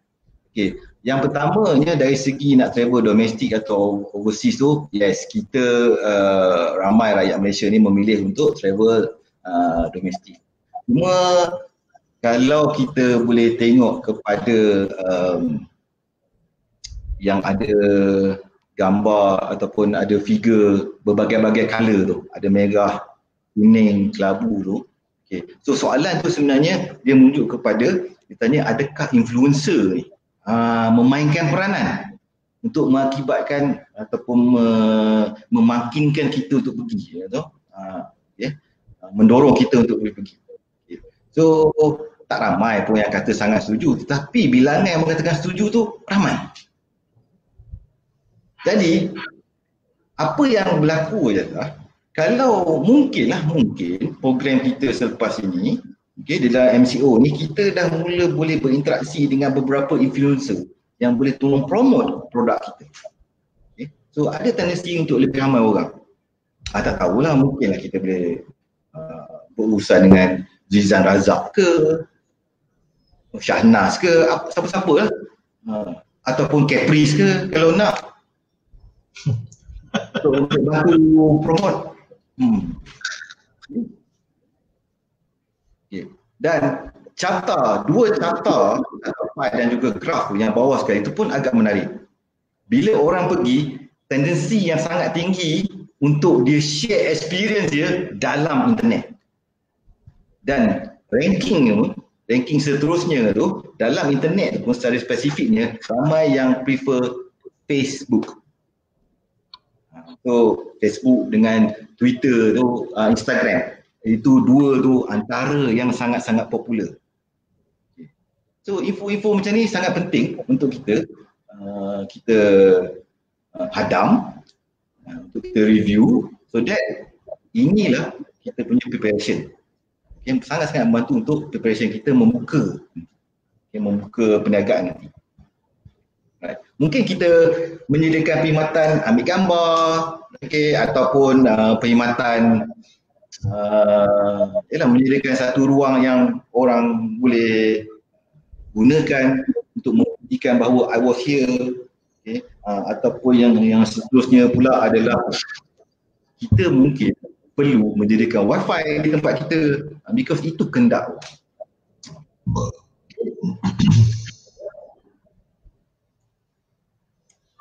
next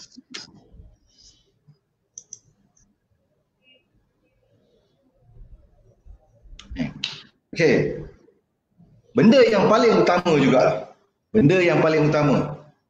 Apabila kita nak membuka pelancongan semula. This is a part of our preparation eh yang kita boleh buat sekarang ni yang pertama sekali ialah we must make sure that kita kru kita siapa-siapa saja yang terlibat dalam operation kita perlu fully vaccinated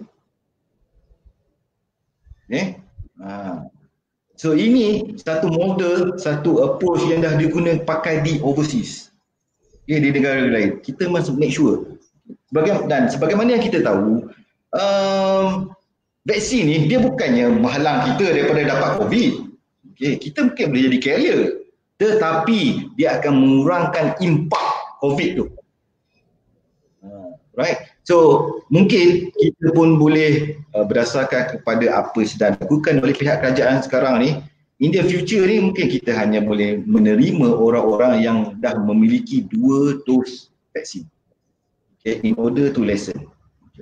Dan kepada orang-orang ni pula from the perspective point of view of the tourist, kalau saya sendiri pun, saya hanya akan memilih operator ataupun uh, jurulatih ke uh, siapa-siapa penyedia perkhidmatan service provider yang memang confirm been vaccinated because I will feel more secure. Yeah. Uh, so itu benda yang preparation yang kita kena buat. And then ada bagusnya juga sebagaimana yang telah dilakukan sebelum ni oleh beberapa sahabat-sahabat kita. Contoh yang saya nak highlight sini adalah daripada Maverick Trainer Sendirian Puhat. Eh? So apa yang Maverick ni buat, dia come out with their own SOP.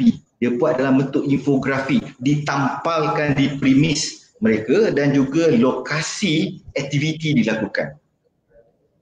So that orang nampak oh ada peringatan dia sebenarnya simple je ini lebih pada psikologi apabila kita pergi ke premis tersebut ada kita nampak perkara ni ataupun nampak uh, that kind of figure tu ataupun template tu okay, kita akan rasa oh okay operator ni sangat-sangat mementingkan uh, penyebaran okay, uh, inisiatif-inisiatif untuk mengekang penyebaran COVID on top of that ada juga kita buat our own My Sejahtera ikut.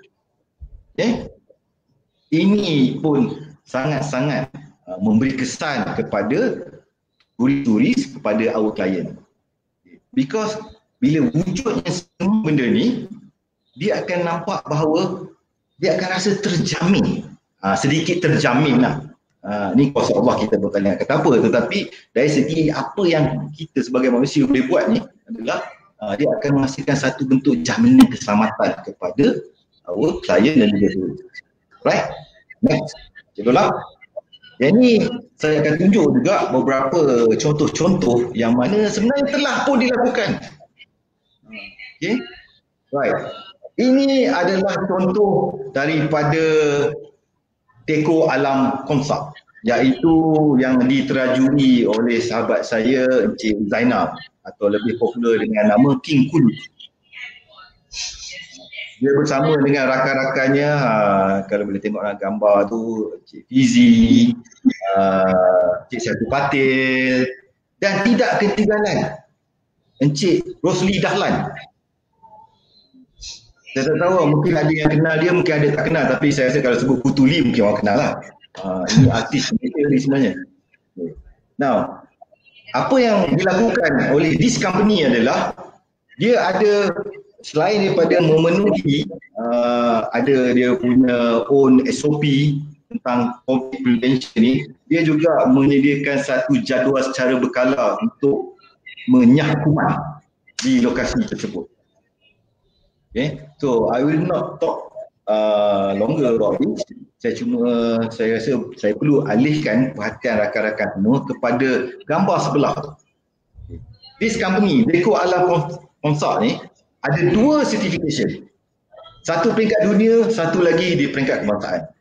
Di peringkat kebangsaan, ini merupakan satu inisiatif yang pada saya sangat-sangat bagus dan saya menyeru rakan-rakan semua untuk bersama-sama untuk dapatkan CJ ni. Tak payah mana pun sebenarnya. Okay? Certificate of Compliance. Ini satu inisiatif yang bagus dihasilkan oleh Malaysia Productivity Corporation melalui program Tourism Productivity Nexus. Right? Dikala institusi lain tak mengeluarkan lagi CJ ni, dia dah move forward. Okay. And then mana-mana aktiviti pelancongan ataupun operator-operator pengusaha-pengusaha yang nakkan CJ ni boleh berhubung direct dengan pihak NPC dan juga pihak Malaysia Inbound Tourism uh, Association. Okay. So jadi rakan-rakan sekalian, kalau kita pergi satu premis, kita nampak ada CJ kebangsaan tu kalau saya, saya akan lebih yakin dengan Deku Alam Kontak ni. Berbanding dengan just dengar saja kudut ni, ha, saudara kudut ni cakap, oh aku ni bagus, aku memang memang bukan COVID apa semua. So, dia dia tak tak begitu sampai. Ha, tapi kalau ada rekod ni, ha, ini yang terbaik. Okay. And then seterusnya uh, company ni juga Deko Alam Konsak ni juga okay, dia juga memiliki uh, ini bukan satu batch it's not really a CJ lah satu batch. Yang mana ini rakan-rakan semua kalau nak ni boleh pergi kepada website okay, Adventure Travel Trade Association and then kita adalah serta-serta form yang kita perlu isi dan kita so called macam memperakui lah okay, bahawa kita ni memang akan follow guideline yang telah ditetapkan oleh ATTA and then they will give you that badge. So people all over the world kalau nampak badge ni dekat kita punya website, kita punya premise ke apa, they will know that kita ni been acknowledged by ATTA follow uh, health and safety guideline. Uh, ini lebih bersifat voluntary sebenarnya. Ha, tapi ini satu opportunity kepada kita untuk memastikan kita bagi satu assurance kepada uh, kita punya klien. Ya, okay, lah.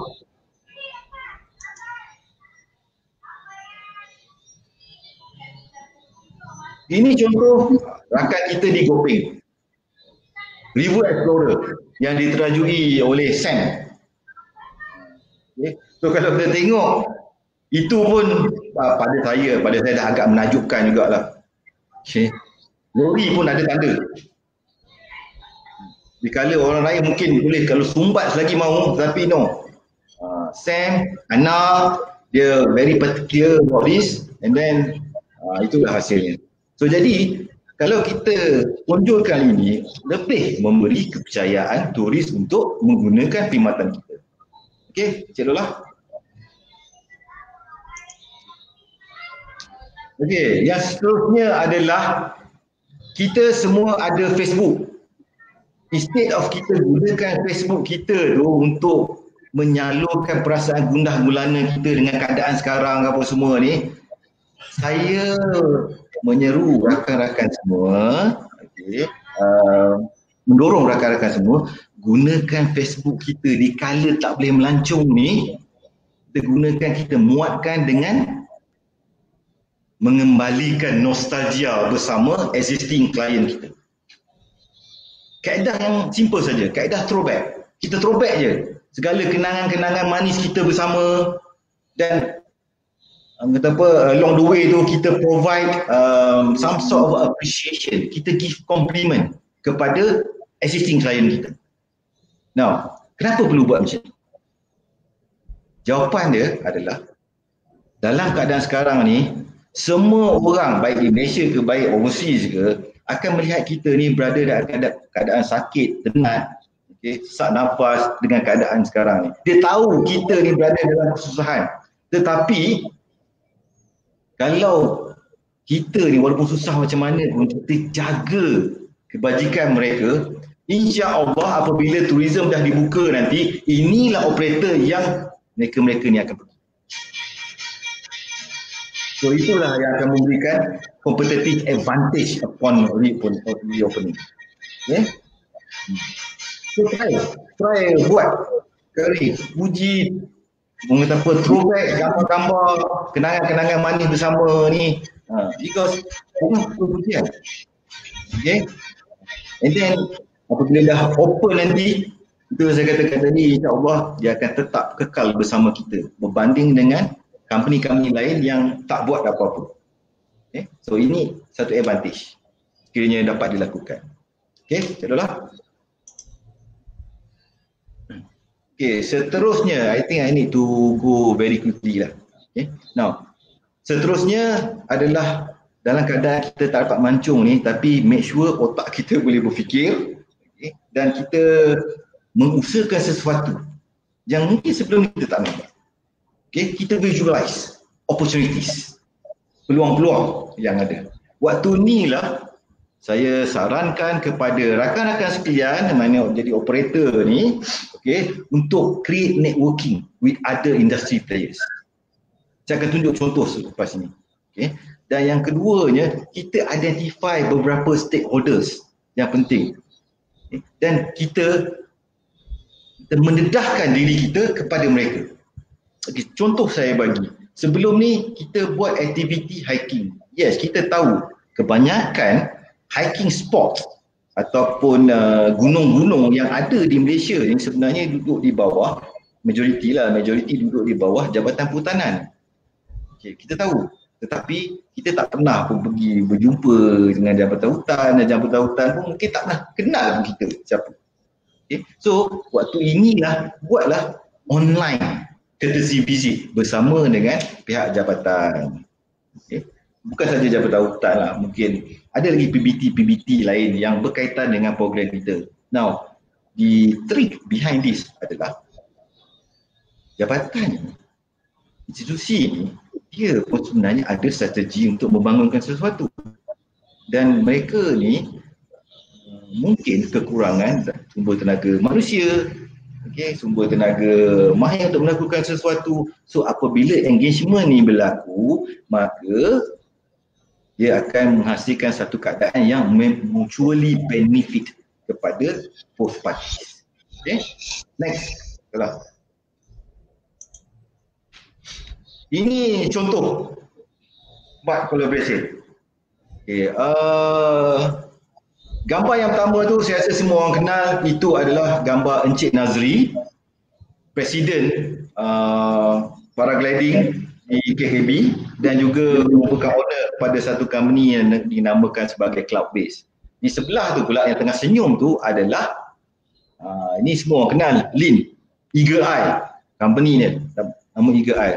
Lin ni dia punya speciality dia kemahiran dia adalah hiking. Nazri obviously paragliding kedua-duanya duduk di KKB. So apa Lin dengan Nazri ni buat adalah they get together, dia orang duduk sekali berbincang and then they come up with one package iaitu hike and fly. Naik bukit keluang secara hiking, bila sampai ke atas fly down. Okay. Ah, so masing-masing up. Okay. Uh, masing-masing famous. Daripada kita bersaing, kita combine. Okay. Uh, dulu dapat faedah. Okay. Gambar yang seterusnya, siapa yang tak kenal, tak lain tak bukan toke besar kita. Uh, pada saya dia mungkin boleh jadi penghulu di Gopeng lah kot. Ini toke glamping.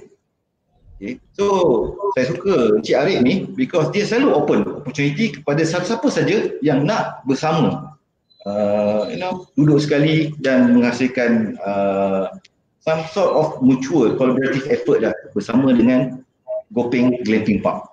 Okay. Tadi saya pun ada sebut tentang influencer. So apa yang Mr. ataupun sahabat saya ni, Asli Razif ni, Haji, Outward ni buat adalah Ha, dia dah nampak dah potensi tu, apa dia buat adalah dia mula uh, apa exploit that situation ni in such a way that positive way lah.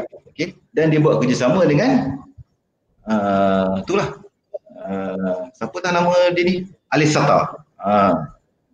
Alisata. Ya, Alisata ni yang tolong promosikan Outward.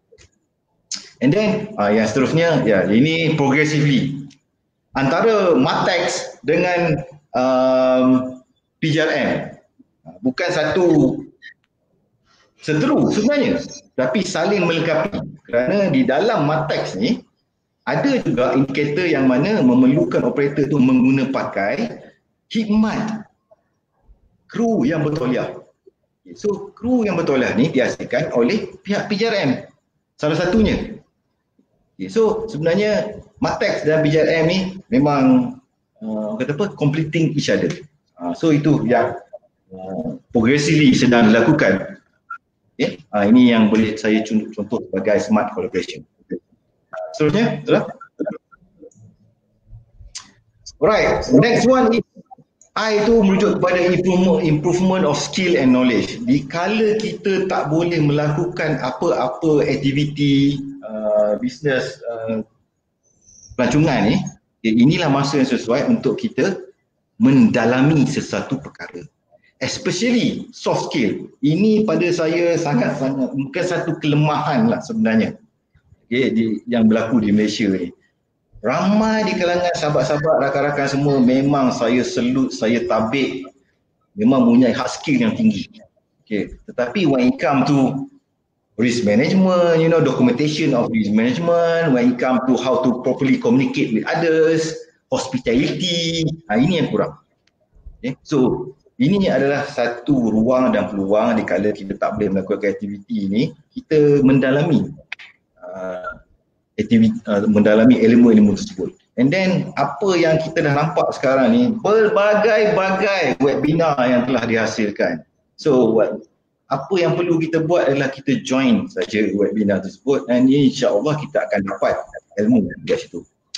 Dan saya juga suka untuk uh, merujuk kepada uh, ataupun memberi tumpuan kepada uh, masa ruang dan peluang masa sesuai untuk kita upgrade ourselves. So Antara contoh-contoh yang kita boleh buat adalah kita mungkin boleh upgrade ourselves ke peringkat ISO for example. Okay. So kalau tak mampu dari segi sumber kewangan mungkin kita boleh ada alternatif lain iaitu kita go for MATEX, Malaysia Tourism Business Excellence. Okay. Uh, dan untuk individu selain daripada CJ yang ada, kita juga boleh it's not really upgrade lah tapi lebih kepada kita value added kan benda tu kita kembangkan lagi mungkin kita juga boleh ambil SKM CJ Kemarin Malaysia dan sebagaimana kata Encik Dola tadi tu insyaAllah kita akan kita akan cuba bawakan uh, kita akan cuba uh, kata apa, uh, menguruskan satu sesi khas yang mana kita boleh tahu secara detail tentang apakah itu NOS. Right? Itulah seterusnya. Ya. Ada dua, ada tiga lagi ni. Now, yang ini virtual tourism. Satu benda yang kita mungkin tak pernah terfikir pun satu ketika dulu. Kerana kita lebih bersifat on-site. Okay? Berbanding dengan online. Tetapi apabila kita tak boleh melakukan ni, kita uh, melakukan aktiviti secara on, uh, on-site ni, kita boleh transfer, kita boleh convert kepada bentuk online melalui virtual tourism. Okay, so dalam konteks ni kita jadi online storyteller. Uh, right? Ini juga boleh menghasilkan pendapatan kepada kita.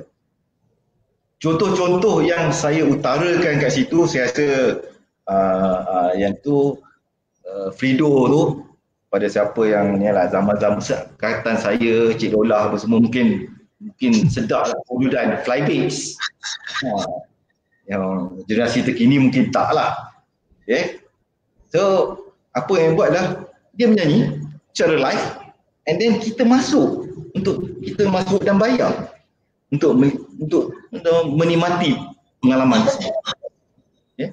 So contoh yang lain yang telah dihasilkan ini satu inisiatif yang dihasilkan oleh NPC iaitu My VSP My Online Experience. Yang ni sahabat saya saudari Seha Ziz Rashihah ni. Uh, dia bukan apa-apa pun. Uh, I mean for me dia bukan saya nak merendahkan tapi dia very simple apa dia buat. Cuma masak outdoor cooking and then ada orang datang tengok dan bayar okay? something yang memang dia suka buat tiap hari okay, tetapi kali ni dapat duit ada juga sahabat kita saudara Andrew ni Uh, dia menceritakan apa yang telah dia experience dia di uh, Via Frata Kinabalu. Okay, dia explain uh, everything, pengalaman yang bakal kita hadapi. It's good. Dan antara yang boleh kata yang terkaya lah dan juga yang berjaya juga adalah uh, saudara Nazri. Okay. Yang mana satu sesi, dalam satu sesi tu ada 30 orang ada. Orang bayar RM30. So kali dia kat situ. Okay. And then apabila habis je program tu, dia dapat more than that.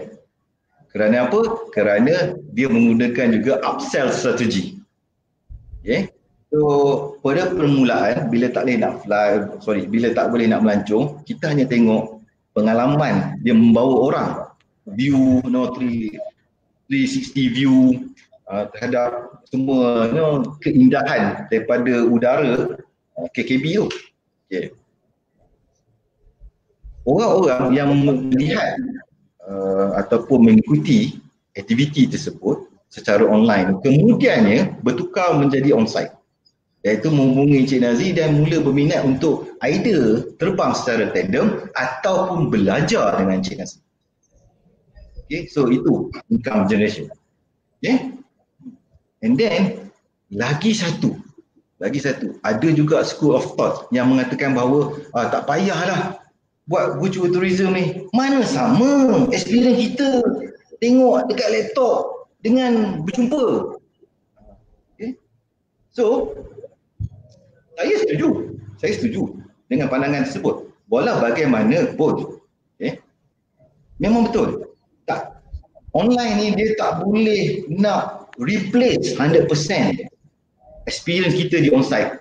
Apatah lagi kita yang suka benda-benda adventure ni. Orang pajak gunung tahan. Boleh tunjuklah kita kepada kita lah laluan daripada Kuala Juram pergi ke Kuala Luis, pergi ke Lata Luis, pergi ke Sengkor, Pematang uh, dan seterusnya sampai puncak. Dia takkan sama dengan kita sendiri yang melalui sampai puncak. Walau bagaimanapun from the positive point of view, apa saja yang kita buat online ni, kita akan menghasilkan satu recording.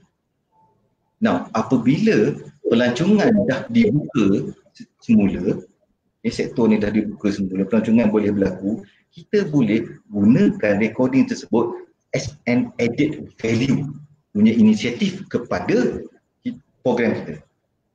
Of course, orang akan booking, kita akan buka trip. Okey, mari mendaki Gunung Tahan sebagai contoh lah. Okay. So kita dah ada our own recording virtual tourism yang kita buat ketika kita tak boleh nak melancong tu kita dah ada recording tu okay. and then apabila orang berdaftar dengan kita normally kita akan wujudkan satu you know WhatsApp group lah. ini bergantung pada operator ha, tapi kebanyakan ni akan wujudkan WhatsApp group and then di dalam WhatsApp tersebut kita boleh share that kind of recording. So orang boleh nampak in advance. Orang boleh tahu di secara mungkin lebih terperinci lah. Okay, berbanding yang kita cakap saja. Okay, perjalanan ni daripada um, contoh eh, Kuala Jurang sampai ke Lantai Luis basically flat. Okay, so kita bayanglah flat tu tapi flat macam mana? Okay, and then kita akan cross sungai. Sebelum kita sampai ke Kuala Luis tu kita akan cross sungai. So orang tak boleh nak membayangkan uh, bagaimana sungai tersebut kalau kita boleh provide video kita tu secara secara terus straightforward kita nampak, orang akan nampak gambaran okay. so itu added value okay alright cik Dola seterusnya. Alright. E-marketing. Ha, ini yang last sekali. Strategi yang last sekali. Ini pun yang telah dibuat. Okay, sekarang ni no more we are talking about you know traditional way of marketing. Kita moving towards that. In fact digitalization in tourism adalah satu agenda utama yang telah dimuatkan dalam national tourism policy. Okay. so ada berbagai-bagai cara kat sini yang telah dilakukan okay so jadi kalau sahabat-sahabat sekalian rakan-rakan sekalian ingin mencuba perkara ni saya sangat-sangat alukan eh, saya syorkan dan in fact I will help you to do it. Yeah, not only me lah. And then ada lagi rakan-rakan lain yang boleh sama-sama membantu. Okay. So kalau kita tengok dalam slide tu, tu dah ada dah wujud satu tourism wholesaler. Okay. Channel manager. Satu program yang kita kita just provide information apa saja produk yang kita jual, servis yang kita buat. Okay. And then that this one company ni UPass ni menggunakan teknologi ni untuk blast kepada masyarakat umum termasuk di luar negara. Okay. Ha, kita tengok contoh yang seterusnya. Next. Right. Sembang Santai Adventure. Saya respect kepada saudara Kimot. Sebenarnya ini ada idea saudara Kimot ni.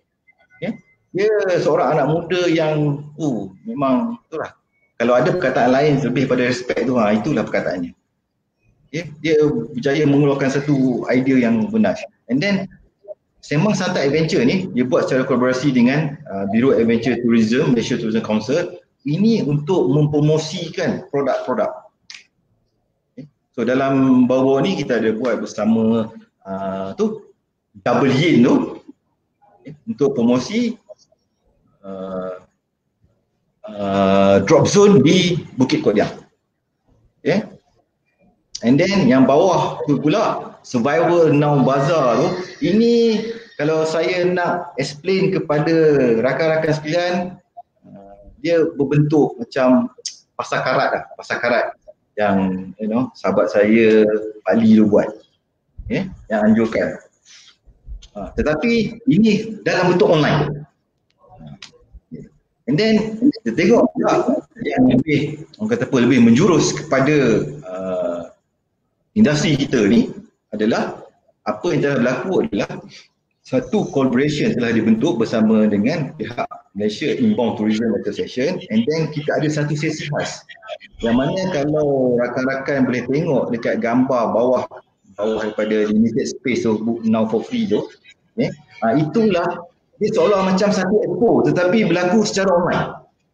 Macam kita pergi ke Mata Fair apa semua tu, dia ada counter-counter uh, tapi dia berlaku secara online. So, operator akan duduk di setiap kita nampak macam table tu okay. and then orang akan datang. Okay, orang tu duduk pada, ini kerjasama dengan uh, ataupun dia melibatkan travel agency. So, kita just duduk kat situ, kita just promote lah And then ada orang datang dia akan tanya soalan macam sebagaimana yang berlaku di Mata Fair di mana-mana expo pelancongan cuma dia dalam bentuk online. Dia the kelebihan antara kelebihan dia juga adalah dia boleh menarik lebih ramai orang untuk datang. Uh, okay? Uh, sebab kita tak perlu nak bergerak. Alright, next. Jadilah. Ini contoh juga contoh lain yang telah pun dibuat dan saya no saya alu-alukan semua rakan-rakan mari kita cuba eh mari kita sama-sama ni try to promote your own product dengan kaedah yang macam ni okey ini kerjasama dengan pihak bernama di bernama dia ada rancangan khas so jadi kita uh, buat collaboration and then setiap orang ni setiap minggu akan bertukar-tukar orang lah. so what you need to do is just promote your product. Ha, ini siaran radio pun ada dan orang kata pun live streaming dekat Facebook pun ada. Okay, okay lah. Ha, selain pada itu, ha, ada juga kita buat uh, promosikan apa saja yang telah dilakukan ni, produk-produk ke servis ni secara online punya um, platform. Okay, sebagai contohnya tu Santai uh, Travel Channel. Okay. And then penulisan manuskrip dalam online magazine dan contoh yang gambar hujung atas sebelah kanan tu dia merujuk kepada uh, satu infografik khas yang telah dibuat untuk Maverick trainer. Okay. Nah, sekarang ni orang tak suka nak baca yang panjang-panjang apa semua ni. So dia buat uh, dia come out dengan satu infografik so that it easier, become easier orang untuk digest information. Dia sebenarnya kalau tengok betul-betul kat situ dia cuma nak tunjukkan apa aktiviti yang dia buat saja yang dia tawarkan. Tapi bila dia come out dengan infografik tu, uh, dia jadi satu benda yang menarik. Uh, sama juga dengan uh, yang telah dilakukan oleh Rentas Buana. Uh, ini satu company hiking di Kelantan. So dia just dia buat satu infografik khas untuk share knowledge dia so that people will aware tentang kewujudan dia. And then yang seterusnya pula kita juga ada buat menggunakan kaedah copywriting. Okay. Uh, copyright ni bukan tiru. Copywriting ni satu kaedah penulisan yang dia highlight tentang sesuatu. Okay. So saya tak sure sama ada rakan-rakan boleh tengok tetapi ada kat situ boleh nampak uh, saudara Syazman uh, pun di highlight kat dalam tu. Dan untuk pengetahuan rakan-rakan semua disam, bukan saja saudara Syazman Ziz Rasyahah Nordin uh, saudara Khairi Yusri uh, operator di uh, Camera Highland our own Mr. G Gunam Singh yang sekarang ni menjadi ni toke durian tersohor di Malaysia. Ini semua diangkat. Uh, lagi satu uh, adalah Abu Zahrin. Okay. Uh, Abu Zahrin ni senior saya. Mesti degree dulu. Okay. Abu Zahrin yang cukup popular dengan motor guide. Okay. Buat aktiviti uh, rekasi rasa secara menggunakan motor ni. Eh motosikal. So diangkat, okay, diberi pengiktirafan sebagai Malaysia Tourism Heroes. So ini sangat-sangat membantu lah apabila berlakunya reopening of tourism. Okay. Dan mungkin strategi yang last kali yang telah dibuat cuma untuk promosi saja. Okay. So all this semua berlaku secara online. Nah, kepada semua yang telah mendapat Mata Adventure Tourism Operators, okay, satu penerbitan khas telah pun dibuat and then will be launched as soon as sektor ni dibuka semula. Contoh yang saya boleh tunjukkan adalah next pula. Yang atas tu adalah promosi terhadap Wira Adventure Consultant. Uh, our own otai ni. Pak Mus. Okay. Yang bawah tu pula adalah company Delta iaitu Alif Paris. Okay. So info dia very simple, straightforward. In, uh, information berkenaan dengan company tu and then a little bit of background of the company dan seterusnya dimuatkan dengan so called feedback ataupun resume lah daripada um, daripada klien, existing klien. So yang ini akan diblastkan kepada semua uh, yalah, semua stakeholders lah. Uh, travel agent ke, stakeholders-stakeholders yang lain yang nak tahu information termasuk juga kepada uh, potential client. Okay. So, jadilah. Next. Uh, yang ni slide saya yang terakhir lah. Okay. So, sebagaimana yang saya katakan tadi, sharing pada malam ini adalah lebih kepada apa yang telah dibuat. Saya tidak berani nak menceritakan tentang model-model tertentu, you know. Kalau orang kata apa, mudah, mudah kita ambil saja model-model overseas ke apa semua. Tetapi pada saya, dia agak kadang-kadang kita mungkin berhadapan dengan sedikit kekangan, halangan, you know, obstacle in order for us to fully implemented segala model tersebut. So apa yang saya share pada malam ini sebenarnya adalah benda yang telah dilakukan oleh komuniti kita sendiri. Okay. Sebelum ni tak pernah di-reveal tapi pada malam ini onwards we are you know sangat-sangat berbesar hati untuk share kepada semua. Okay. Jom. Okay. Join us and then uh, let me ataupun let us show you the way. Okay. Uh, boleh try mana-mana. Okay. So maksud saya adalah bagaimana saya katakan tadi tak semestinya kita follow ke tujuh-tujuh tu kita secara sequence okay, kita boleh pick yang mana kita nak buat dulu yang mana kita prioritize ataupun uh, kita mungkin boleh ambil empat saja, tiga saja bergantung pada keadaan tapi untuk memudahkan kita ingat uh, inilah dia secara ringkas ni okay. and then Uh, bagaimana yang saya nyatakan pada awal-awal tadi tu, this is not something yang so syumul ataupun so complete. Okay, ini satu ilmu yang agak baru juga. Okay. And then I am more than glad pada ni nak inform kepada rakan-rakan, sahabat-sahabat sekalian. Okay. Kalau ada ruang untuk improvise, go ahead. Okay. Gunakan ini sebagai panduan, sebagai satu batu loncatan, stepping stone untuk kita move forward. Okay, tapi along the way tu kalau ada nak tambah apa semua terpulang kepada rakan-rakan sekian. Okay, so itu saja uh, daripada saya dan sebelum saya ber, beredar ni ha, daripada bercakap ni saya ingin mengucapkan jutaan terima kasih kepada salah seorang sahabat saya yang juga merupakan pakar industri negara iaitu Dr. Jeffrey daripada UPSI kerana sudi bersama-sama. Saya pun quite shock juga lah terperanjat dengan dia pun sudi bersama-sama meriahkan aktiviti, aktiviti kita pada malam ini dengan menyumbangkan okay, hasil-hasil penulisan beliau. So itu saja uh, daripada saya. And then uh, last but not least, Thank you very much PGRM. Ha. Hubungan kita memang sentiasa rapat dan Alhamdulillah saya amat berbangga dengan bunyi rakan-rakan di PGRM. Okey, itu saja Cik Dolah. Sekian, wabillahi taufiq wal hidayah. Assalamualaikum warahmatullahi taala wabarakatuh. Okey. Waalaikumsalam warahmatullahi taala wabarakatuh. Okey, uh, dengan presentation yang apa nama padat dan sendat ni, uh, tadi saya pun tak di, uh, tak ambil peluang langsung untuk nak mencelah uh, di mana-mana pun.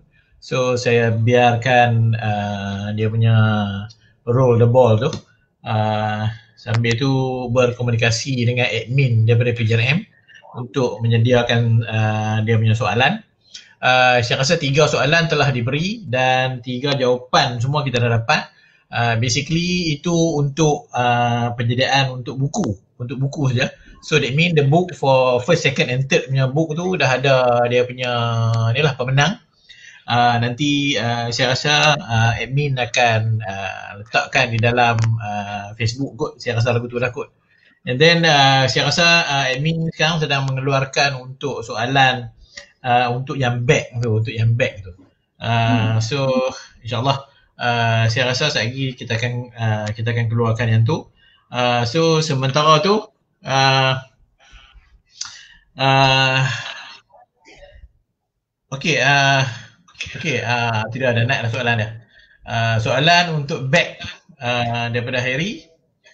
Uh, apakah kelebihan Uh, sebab kamu dah dengar tadi ya, uh, kita dah dengar apa yang Harry cerita daripada awal sampai habis apa semua tu lah. So, apakah kelebihan virtual tourism uh, dalam sudut promosi? Dalam sudut promosi, uh, kegiatan aktiviti lasak dan adventure tourism. Uh, so, uh, soalan yang kedua pun dah, dibant- dah diletakkan di situ.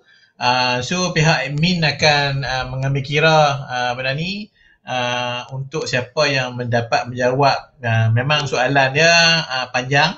Uh, biasalah. Uh, bukan murah pun uh, kita nak bagi free pun at least you kena jawab uh, lengthy sikit huraian sikit apakah uh, macam Syafiq kata income generation and value added activity. Uh, insyaallah nanti uh, admin akan pilih pilih jawapan yang mana cantik yang mana sesuai uh, dan uh, yang mana yang dipersetujui oleh uh, kita punya ambassador uh, so kita akan uh, uh, kita akan uh, kita akan wawarkan uh, dekat dengan apa nama dekat kita punya Facebook lah. Uh, so alhamdulillah uh, saya rasa kita dah sampai ke penghujung rancangan uh, dengan topik yang agak uh, agak santai uh, dengan sharing yang agak santai uh, walaupun uh, kalau kita nampak uh, kalau kita fokus satu-satu so you boleh nampak lah. You boleh nampak ber, ber, ber, maksudnya kita buat uh, sesuatu ni sekarang ni bila kita buat sesuatu ni dia bukan bermaksud yang you akan membuat benda tu selama-lamanya. Uh, dia hanya bersifat sementara tetapi tetapi benda tu kemungkinan selepas ini apabila semua pandemik dah jadi endemik yang everything dah okey mungkin benda yang kita buat sementara tu dia tetap akan jadi satu macam side income. Uh, dia akan jadi tetap sebagai satu side income. Tak kira lah you nak japis ke semua satu you still ongoing lah. Sebab you dah ada networking. You dah ada networking you dah ada klien and then bila you uh, war-warkan lebih klien uh, kepada online. So people will call another people, ada beradik will call another beradik. So you punya networking makin luas, you punya networking makin luas. so uh, kita rasa kita pun menambah uh, networking lah, networking bila sebut networking tu. Uh, dari segi PJRM sendiri kita rasa uh, dulu uh, kita rasa dari segi like page PJRM sendiri pun saya rasa ratus-ratus je satu je. So kita ni sekarang ni dah kita naik ribu-ribu. Uh, saya tak tahu berapa ribu tapi ribu-ribu lah. so at least whenever we start, we kick off dengan uh, first webinar, uh, first uh, online punya course, uh, dan dari online punya course tu pun kita buat, kita dapat lahirkan beberapa uh, apa nama trainer yang uh, yang yang yang mampu untuk menjana income sendiri ya sendiri dengan melalui online dengan melalui webinar. Uh, dan uh, mampu untuk bergerak sendiri. Uh, ada yang dah masuk uh, uh, unify dekat rumah ada dah yang beli webcam sendiri ada dah yang uh, maksudnya kita nampak di situ adalah perkembangan yang baik untuk orang yang nak berubah untuk orang orang yang nak berubah. Because di dalam dunia ni saya rasa uh, di dalam market uh, adventure tourism ni uh, memang kita nampak luas so kalau kita dapat gunakan setiap platform yang kita ada di situ macam mana yang disarankan dalam survive tu uh, saya rasa itu menjadi satu satu kelebihan kita pada malam ini uh, satu lagi adalah because uh, yang ni dia akan jadi satu bahan uh, archive lah uh, archive kepada kepada PJRM which is akan di-share kepada uh, YouTube uh, dan rasanya benda ni akan kekal di situ mungkin selamanya. Uh, so boleh jadikan sebagai reference kepada kita whenever kita terlupa miss something so you kena recall balik. Uh, so not only you nak kena uh, like page atas PJM saja uh, yang terbaiknya nanti you buka YouTube dia, you like YouTube dan you subscribe YouTube sekali. Uh, saya rasa Uh, itu pun uh, menjana income juga tu. Ha, kalau YouTube you dia punya subscriber dah banyak, ha, you boleh jadi Abid Liu. okay. So uh, you dah dapat capture you punya own uh, permanent income daripada situ lah. Uh, so at least uh, saya tengok saya tertarik dengan beberapa soalan, uh, beberapa cad- cadangan. Uh, in fact saya dapat recall tadi uh, daripada Azian tadi. uh, daripada Syarifah Azian, ini daripada, daripada, daripada Johor ni. Uh, dia memaklumkan yang uh, some kind of uh, e-keusahawanan, keusahawanan uh, yang membuat uh, secara online uh, everything yang mana disentuh juga oleh uh, kita punya panel pada hari ini. Uh, saya rasa itu satu benda yang yang yang yang, yang baik.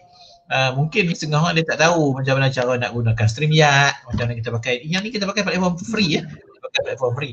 So at least uh, pakai nak pakai lag, uh, benda tu benda-benda yang percuma. Uh, so it's still not a time yet when you nak subscribe pun you nak jadi enterprise belum belum lagi. So at least kena kena kick off dengan benda free. Uh, apa kena ada di rumah untuk uh, untuk untuk untuk you bers- bersiaran. Uh, so macam disebut tadi uh, kepada sahabat kita yang daripada Samsuri tu kan? Uh, Samsuri uh, tengok dia mampu menghimpun kan? Saya kata 2-300 orang uh, just imagine dengan harga RM25 you kali tengoklah dengan 200 orang uh, yang asal dulu ni dia, dia hanya duduk dalam rumah je. Dia hanya duduk dalam rumah uh, kontrol sana kontrol sini ada 4-5 orang yang duduk uh, hang share tajuk ni hang share tajuk ni hang share tajuk ni uh, habis macam tu Uh, secara kebetulan pula saya hari ni pun uh, pagi tadi kita buat um, uh, webinar webinar ke juru latihan uh, ke juru latihan terapi air. So hari ni is uh, kita charge insert cuma RM20 je. Insert lah. Insert tu bila dapat kita prepare awal. Kita prepare, prepare, prepare awal. so uh, nak tutup, nak start lah lagi lebih kurang dalam setengah jam pun. Ada lagi orang duk masuk daftar lah. Masuk daftar.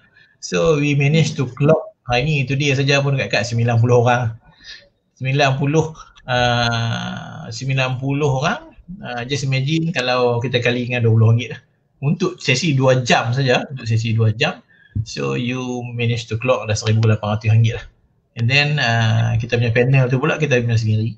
So I think from there uh, kita boleh sharing knowledge dekat orang lagi. And then kita mampu macam Mary kata kita mampu refresh kita mampu refresh uh, dalam keadaan yang dia duduk terperap di rumah tu. Uh, so saya pun terkejut juga because uh, bila tengok dalam tu uh, the numbers uh, begitu naik dan juga yang join ni adalah uh, geng-geng pendidikan khas cikgu-cikgu pendidikan khas uh, daripada Sabah ada, daripada Sarawak ada. Uh, Malaysia of course dia ada daripada pendidikan autism ada. So to me uh, bukanlah satu benda yang mustahil untuk kita nak buat. Uh, yang pentingnya saya rasa uh, is uh, something yang telah dijelaskan oleh uh, uh, kita punya panel tu dengan uh, renungan beliau kepada kawan-kawan dalam adventure tourism kita tu saya rasa ianya menjadikan satu satu panduan satu dorongan kepada kita ni untuk terus survive untuk terus survive dalam industri ini dan saya rasa itu satu benda yang baik amat baik. Dan kita rasa kita tak perlu berhenti di sini saja. So uh, saya rasa itu saja daripada PG, PGRN dan malam esok uh, kita akan bersama dengan Ustaz. Kita bersama dengan Ustaz Isam Ustaz Isam Idris seorang jurulatih kita daripada Perak. Uh, dalam uh, meng, meng, menghuraikan beberapa uh, soal jawab di soal jawab agama di dalam mereka luar. Dalam di dalam mereka luar. Ini adalah siri yang kedua uh, untuk beliau. Uh, so minta uh, minta semua uh, kita punya likers pada hari ini, kita punya share pada hari ini bersama juga kita pada malam esok. Uh, InsyaAllah kita akan memula pada pukul 9 malam. So uh, Harry, any last word sebelum kita mengundurkan diri? Okay, uh, my last word ada beberapa perkara saja. Yang pertama adalah saya ingin memohon maaf sepanjang kalau ada lah, kalau ada sepanjang presentation tadi tu, kongsian tadi tu adalah unsur-unsur yang menyakitkan hati ke apa ke. Uh, so saya minta maaf. Ya, itulah. Okay. Uh, mungkin salah guna bahasa ke. Okay. And then yang keduanya, I will gladly share saya punya slide. Saya dah bagi kepada uh, pihak PJRM. Okay. Uh, and then boleh dapatkan kepada pihak PJRM. Ataupun kalau nak minta kepada saya sendiri pun tak ada masalah. Uh, saya akan whatsapp kan uh, kepada semua. Uh, and then yang terakhir sekali adalah tahniah kepada pemenang. Ini saya serahkan segala-galanya bulat-bulat kepada pihak uh, PJRM untuk menentukannya. Okay. Uh, saya tidak terlibat di dalam konspirasi ini ya. Saya hanya sebagai penyumbang saja. Okey. Uh, dan tahniah diucapkan kepada para pemenang uh, dan saya dimaklumkan uh, segala hadiah tu akan disampaikan melalui post kan. Uh, courier courier service. Uh, Alright. right.